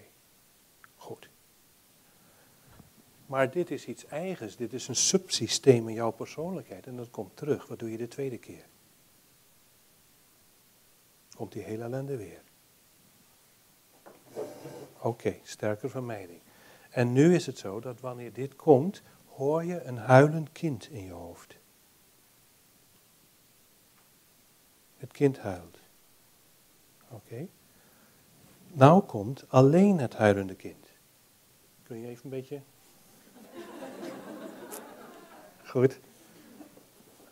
Oké, wat doe jij als dat huilende kind komt en het komt dichterbij? Het, komt, het nadert. Ja, wat doe je als het nadert? Het komt nog dichterbij. Echt huilen, het huilen wordt, stel je voor, luider. Ja, precies dat. Leertheorie, voor wie het kent. Dit is ongeconditioneerde stimuli. Diepe pijn en ellende. Ellende, weg. Hè? Ongeconditioneerde vermijding. Maar dan komt de stem die aankondigt dat dit komt. Dus dan wordt de stem een geconditioneerde stimulus, een trigger. En jij gaat al weg op de trigger. Dus A en B gaat zo vermijden. Maar als je dat doet, dan ben jij dat pushy en dan is het even beter. Maar zij zit in isolement. Bovendien, als jij dit doet, en als de ellende vooral gekleurd wordt door emotionele afwijzing en verwaarlozing, ben jij nu net als die moeder die dat deed. Dus zo gaat het innerlijke systeem beginnen de spiegel te zijn van het gezin. En elke keer als zij komt, sorry, weg, jij. Dus dat betekent dat jij ook niet zo gemakkelijk komt, want je verwacht alweer dit. Maar omdat het hier gaat om ongeconditioneerde reacties en geconditioneerde reacties, die worden niet aangestuurd door versterkers, door consequenten van gedrag, maar door antecedenten van gedrag. Dat betekent, je komt elke keer weer. Als je een dier, een rat straft voor freezing, gaat het nog meer vriezen, niet minder. Oké? Dus elke keer als jij in mijn buurt komt, hè, jij komt in mijn buurt, daar is niks te zoeken. Oké. Dus zij switcht, de patiënt switcht in de behandeling en denkt, oké, ANP denkt wegwezen. En dan zit min of meer een kind in de stoel. Of een puber of wat dan ook. Hè? En dan ontmoet je mij en dan ga je zeggen, niemand helpt mij. En dan zeg ik als therapeut, maar ik help jou. Dan wordt hier de hechting sterker. Want dat moet ik geloven dan. Nou, dat, niet 1, 2, 3, maar je hebt daar al niks te zoeken. Dus je gaat waarschijnlijk, ook al ben je angstig, toch wel je openen hier. Maar als dat gebeurt en wij gaan zo maar, zeg maar min of meer hand in hand, we hebben een goede werkrelatie, dan word jij actief. Want dat wordt veel te gevaarlijk. Jij gaat weg, je denkt, laat die Ellen het maar opknappen. Maar dan heb ik met jou te doen. En dan kom jij dit stuk maken. Of als dit contact goed is geweest en jij gaat naar huis en Ella denkt in al zijn naïviteit dat hij een goede sessie heeft gedaan, wat gebeurt er thuis? Jij gaat haar straffen, omdat zij stomme dingen doet. Oké? Nou, dit zijn de soort van dynamieken die je krijgt met dissociatieve delen. Dus, hoe moeten we dat oplossen? Nou, daarvoor hadden we nog één minuut. Goed, exposure. Veel mensen zijn hier gedragstherapeut. Exposure. Als jij komt en de diagnose wordt gesteld, is dat exposure. Want jij wordt door de diagnose blootgesteld aan iets wat wijst op dat. En, dat wil je eigenlijk niet, maar ook weer wel, want alleen kom je er ook niet mee uit de voeten. Dus je bent heel ambivalent. Je komt wel en niet, en wel en niet. Goed, dan kan denk ik de behandeling gaan werken als wij samen gaan vastleggen hoe de organisatie is van binnen. Hoe die oorlog is en wie wat doet. En wie welke opgave heeft. Want als jullie nou zo zaten als je daarnet zat, wat zou je van mij willen? Jij wilt geholpen worden, maar kunt niet geholpen worden. Wat zou jij van mij als therapeut willen? Daar wil je liever niet bij hebben. Oké, maar ik ben er. En jij zult ook zien dat die club hier, ondanks al jouw kracht, wel doorgaat. Waar heb jij behoefte aan? Jij bent kind. Je doet daders na om invloed te hebben. Maar wie vindt jou lief? Ja, niet, niet echt iemand Nee. Nee. nee. Dus toch lief gevonden worden. En, eh, Ja, want dat blijft ook bij jou als deel. Gezien willen worden. Ja. Geldt dat ook voor jou? Gezien willen worden? Gehoord willen worden? Begrepen worden? Begrepen. En Ja. eh, ik wil dat er nou eens eindelijk iemand lief is voor die pijn. Ja, oké, Daarvoor zorgt. prima. Dus dat moet gebeuren. Ja. En jij, wil je niet ook gezien worden? Wie wil niet gezien worden? Dat geldt voor dissociatieve delen zoals dat geldt voor ieder mens. Dus de therapeut moet erkenning geven voor dat wat er is. Niet suggereren dat wat er niet is, maar dat wat er is, moet worden vastgesteld. Zodat je je gekend gaat voelen. En dan kan de therapeut zeggen, oké, jij bent hier dus, om zo te zeggen, in drievoud. Jij bent er, er is een kinddeel van je wat in nood is. En er is een heel sterk deel bij je dat probeert uit alle macht de controle te houden. Ik zou tegen jullie allemaal willen zeggen dat jullie allemaal belangrijk bent. En allemaal hulp verdient. Geholpen worden, gezien worden. En zorgen dat jullie leert met elkaar om te gaan. Oké, dat zijn twee zinnen. Hoe klinkt dat? Voor mij klinkt dat nog erg onwaarschijnlijk. Ja. Ik vind haar heel lastig. Ja, ja. Mhm. Dat is ook zo. dus dat moet opgebouwd worden. Dat betekent dus dat de exposure, de contacten zo moeten zijn dat ieder gehoord gaat worden. Dus dat betekent dat wij stellen de diagnose, we proberen te achterhalen hoe de persoonlijkheid in elkaar zit. En dan proberen we die delen bij elkaar te brengen. In een situatie die zo is, is dat je het kunt uithouden. Een voorbeeld daarvan is een vergaderruimte. Waarbij er evenveel stoelen zijn als er delen zijn. En ieder deel kan op één stoel zitten, aan een denkbeeldige tafel. En ieder deel heeft één stem. Niet sommige twee en andere geen. Ieder heeft één stem. Maar Elliot, is het dan niet dat jij van mij als ANP toestemming moet hebben? om Ja, absoluut. Met hun rechtstreeks te mogen praten? Absoluut, ja. Oh, dat had je nog niet, hè? De eerste diagnose stellen. En dan vooral met jou bespreken wat dat is. Dan bespreken dat het te begrijpen verschijnselen zijn. Eh, met jou bespreken dat het heftig is. En dat je het liever niet hebt, maar dat het er toch ook weer wel is. Dus dat soort ambivalenties. En dan via jou, zoveel mogelijk via jou, Ja. contact met het delen. Alleen wat bij DIS gebeurd is, is dat ANP soms wegkiept. En dan zit er een ander. Dus dan heb je tijdelijk met een ander deel te maken. Maar het moet altijd weer terug naar jou. En naar het. Ja, bij voorkeur wel. Want anders, als ik dit werk ga zitten doen, ik ben wel lief voor je, en zo, zo, zo, en zo. Dan denk jij, ik heb vakantie, ga je naar Spanje. Want Ellet doet dat werk wel. En dat moeten we niet hebben. Dan maak je het afhankelijk. Maakt afhankelijk en het helpt niet. Dus uiteindelijk moeten jullie leren om dat op een geordende, systematische manier te doen, dat jullie beter met elkaar uit de voeten komt. En als dat lukt, als jij leert, als jullie leren om dat te doen in een eerste fase van de behandeling, dan is de volgende fase geleidelijke exposure. Bijvoorbeeld, als het gaat tussen jullie, is dit te hard en te veel. Dus gaan we, als ik even mag, denkbeeldige filters ertussen zetten. Die zeggen, zij is er wel, maar je zult haar maar 5% voelen. Kun je dat uithouden? 5% voelen hoe het was? Oké, dat is een stukje. En als dat gaat, 10%, 20, 50, uiteindelijk 100%. Dus we kunnen, net als in een gewone behandeling van fobieën, de exposure in stappen opbouwen.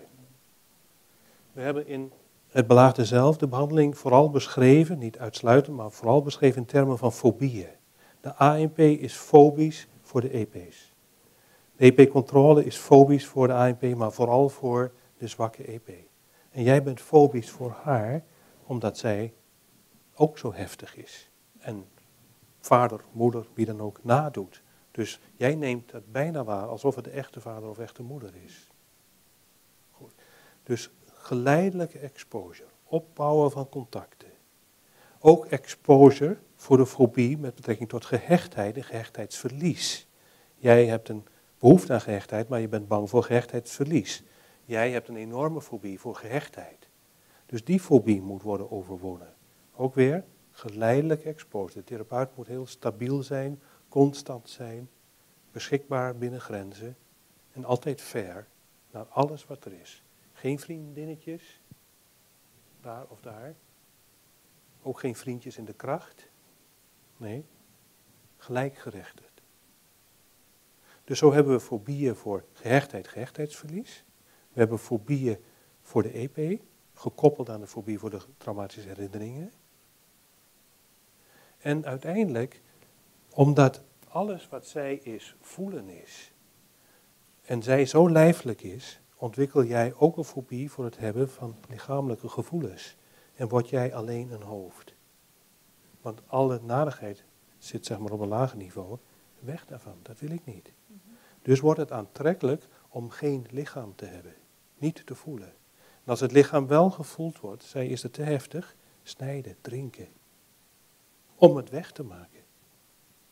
Dus je hebt ook een fobie voor voelen en voor emotie. Dus moet de patiënt leren te voelen en emoties te hebben en te verdragen. Dat is nogal wat, niet? Maar is het niet logisch? Is het, is het te volgen als ik dat zo uitleg? Oké, goed. Nou, maar dat is in essentie wat we doen. En in dat kader ontwikkeling van een heleboel vaardigheden. Hoe kan ik beter met emoties omgaan, met grenzen omgaan, met wat dan ook omgaan? Oké. Hebben jullie vragen of opmerkingen? Wordt dat door één therapeut gedaan? Uh, meestal uit nood één therapeut. Het was veel beter om twee te hebben. Om redenen uh, die zou, ik zou kunnen uitleggen, maar dat vraagt een beetje meer tijd dan ik nu heb. Maar afhankelijkheid van één is te, te eng vaak. Een hele goede combinatie is één psychotherapeut, één zeg maar sociaal-psychiatrisch verpleegkundige daarnaast. Die de, gewoon het contact overeind houdt. De moeilijke dingen in de therapie, steun, ondersteuning en die andere contacten. Daar hebben we hele goede ervaringen mee. En ook met kinderen? Ik heb zelf weinig ervaring met kinderen. Ik ben ooit wel met kinderen begonnen, eh, maar al vrij gauw ben ik met volwassenen gaan werken. Eh, wat ik over de behandeling bij kinderen kan zeggen is dat die veel simpeler is dan bij volwassenen. Bij volwassenen zijn die delen zo lang al daar, hebben zich zo verzelfstandigd, dat de grenzen tussen de delen sterker zijn geworden. Een kind, uh, jullie kunnen het misschien herkennen, heeft die verschillende posities bij dissociatie, maar de grenzen zijn nog veel meer, zeg maar, minder sterk bepaald. Bij kinderen gaat de behandeling veel sneller en veel gemakkelijker. Eigenlijk worden daar in het algemeen goede ervaringen mee opgedaan. Misschien is het aardig om ooit eens een keer daar een collega over uit te nodigen, die over de behandeling van dissociatie bij kinderen kan spreken. Ja, want het is veel eenvoudiger. En eigenlijk is dat natuurlijk ook, een beetje in het kader van mijn hele lezing van deze avond, erg voor de hand liggend, omdat je de ellende meestal oploopt in de jeugd. Als je het in de jeugd kunt stoppen en behandelen, is het natuurlijk duizendmaal beter dan dat je wacht tot die persoon volwassen is geworden. En dan zijn ze 40, 50 en dan komen ze bij ons in de volwassenenpsychiatrie. Kinderen zitten ook nog vaak in de situatie, hè? Ja. Kan het dan ook? Nee, eerst, eerst het kind uit de situatie halen. Ja. Maar goed, soms moet je achter de situatie komen, niet via haar, maar daar. Dat kan ook nog zo zijn. Goed. In elk geval. Dat is eh, eigenlijk wat ik graag met jullie wil delen. Graag applaus voor onze rollenspelers. Hartelijk dank. Ja.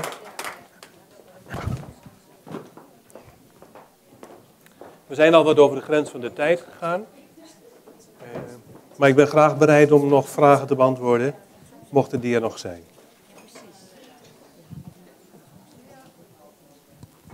Ja, ik vind het eerlijk gezegd nogal stellig gezegd kind uit de situatie. Wat, wat wij hier nu op, Nou, in de kliniek proberen. Want ik herken het wel hoor. Dat, wij hebben kinderen die ernstig getraumatiseerd zijn. En die ouders zijn ook ernstig getraumatiseerd. Ja, En wij proberen juist ouders eerst... eh, eh, ja hoor, daar kan ik het graag mee eens zijn.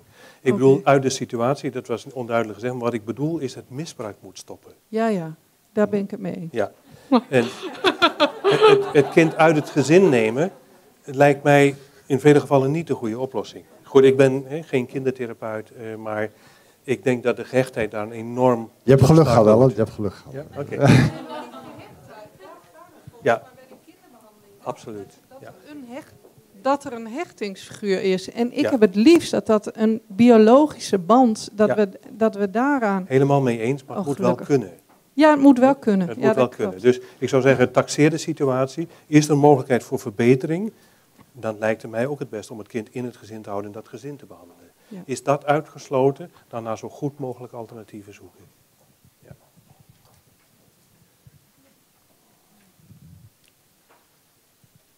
Geen andere vragen meer? Nog een heel klein vraagje. U heeft het over welke therapeuten daarbij betrokken zijn.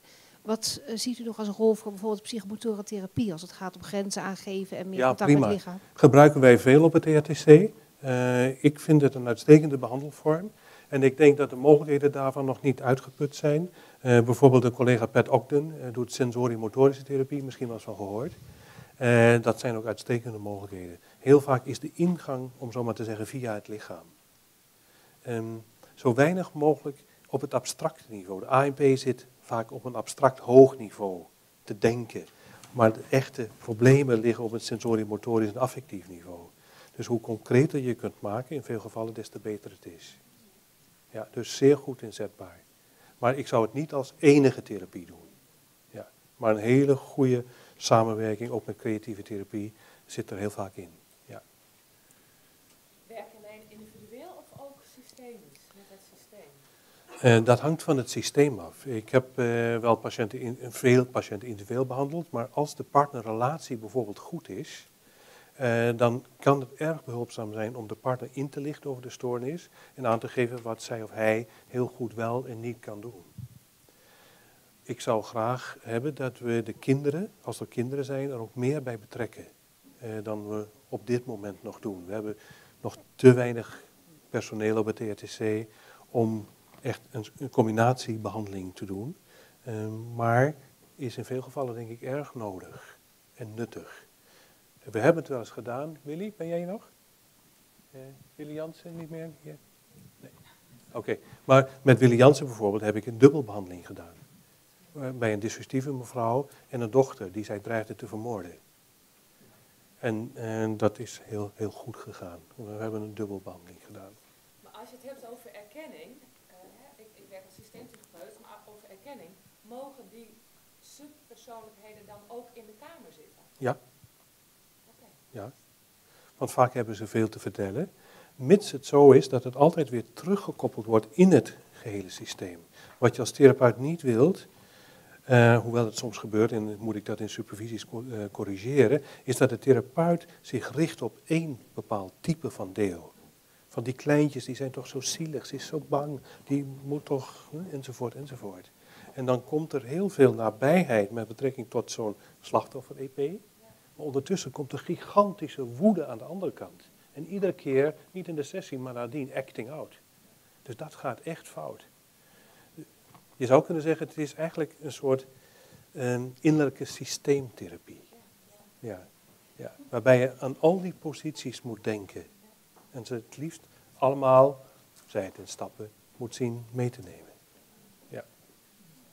Dat werkt. En dat is voor zover wij in de afgelopen 30 jaar ervaring hebben opgedaan, ook het enige wat werkt. Alle andere therapiemodellen kunnen een beetje ondersteunend zijn, maar kausaal werken doen ze niet.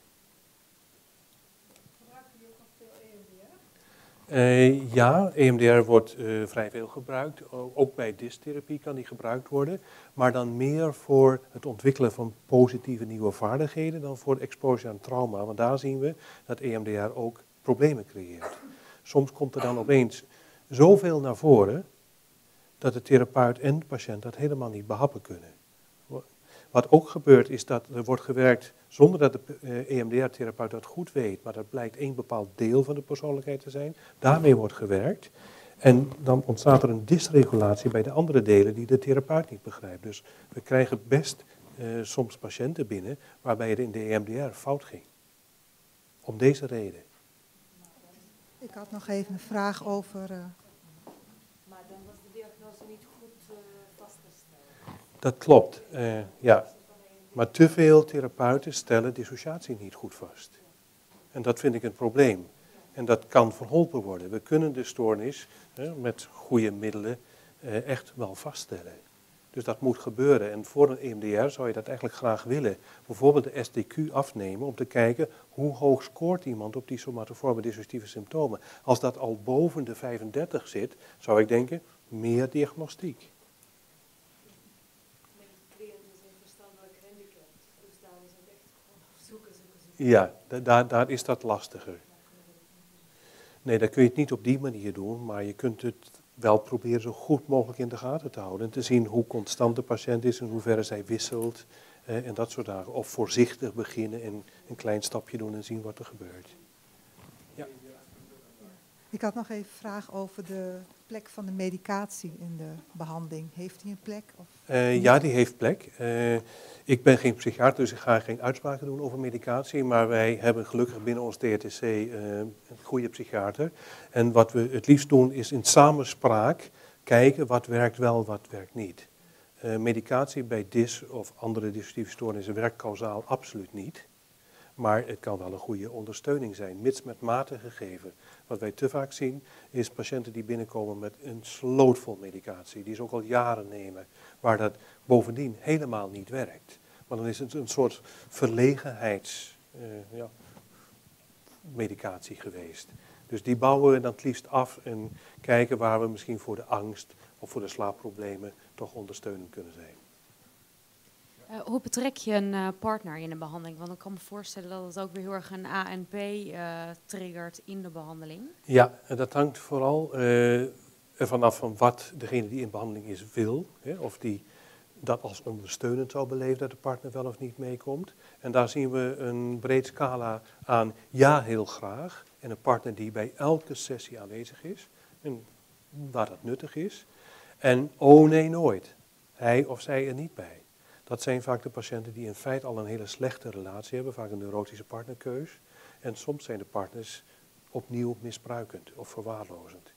En dan, die partners is in mijn ervaring, eh, daar, daar is het niet zinvol om die erbij te betrekken, want het wordt niet beter. De patiënt wordt beter en gaat uiteindelijk kiezen om deze type van partners te verlaten. Ja. Tuurlijk kun je daar niet te snel en te eenzijdig eh, een conclusie over trekken, maar je kunt er wel op letten. Daar waar het kon, vond ik het altijd behulpzaam. En dat betekent niet dat de partner naar elke sessie mee moet komen, maar het is wel goed dat de partner weet wat er gaande is, eh, wat er speelt, wat de moeilijkheden zijn. Is het dan ook zinvol als een wordt een partner dan ook nog ingezet om bijvoorbeeld thuis eens te doen met toestemming van de cliënt?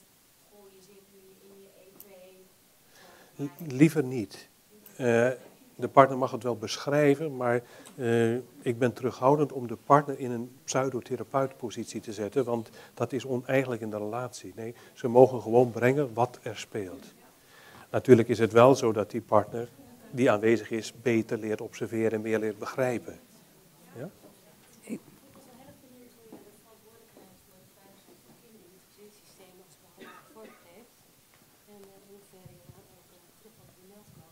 Ja. Dat is altijd een dilemma in de Ja. van gegevens.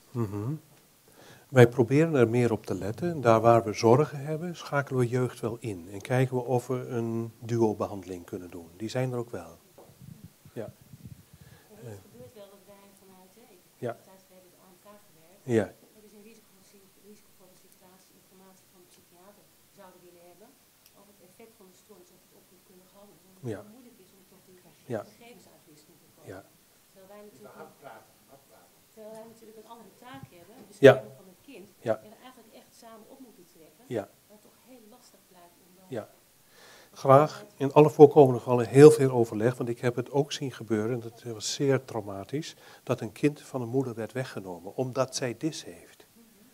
Nou, ik heb nog mijn handen vol daaraan om dat als onderdeel van alle traumatisering te behandelen. Ze heeft gevochten om haar kind weer terug te krijgen. Ze heeft inmiddels verschillende kinderen, meerdere kinderen, en in principe lijkt dat allemaal eigenlijk goed te gaan. Ze heeft dis, maar als moeder doet ze het echt overwegend goed. Dus niet te snel daar zeggen van deze moeder kan het niet. Veel liever. Precies. En daar Ja. Oké. tussen. Ja. Maar ik denk dat er altijd, eh, zeg maar, binnen ons THTC daar goed over te praten is. Misschien eerst in abstracto. Van kunnen jullie patiënten motiveren of patiënt motiveren dat die informatie wel beschikbaar komt. En die komt, denk ik, als er eerst een soort garantie is dat dat niet automatisch leidt naar het weggenomen worden van het kind. Want dat is vaak wat maakt dat men de deur dicht houdt. Ik heb nog, eh, nog, eigenlijk nog twee eh, vragen. Eén, is, is er ook een parallel met de EP's en de koping van EP's met bijvoorbeeld de schematherapie? De bestraffende ouder bijvoorbeeld, zoals je die net zag? Of, Ja.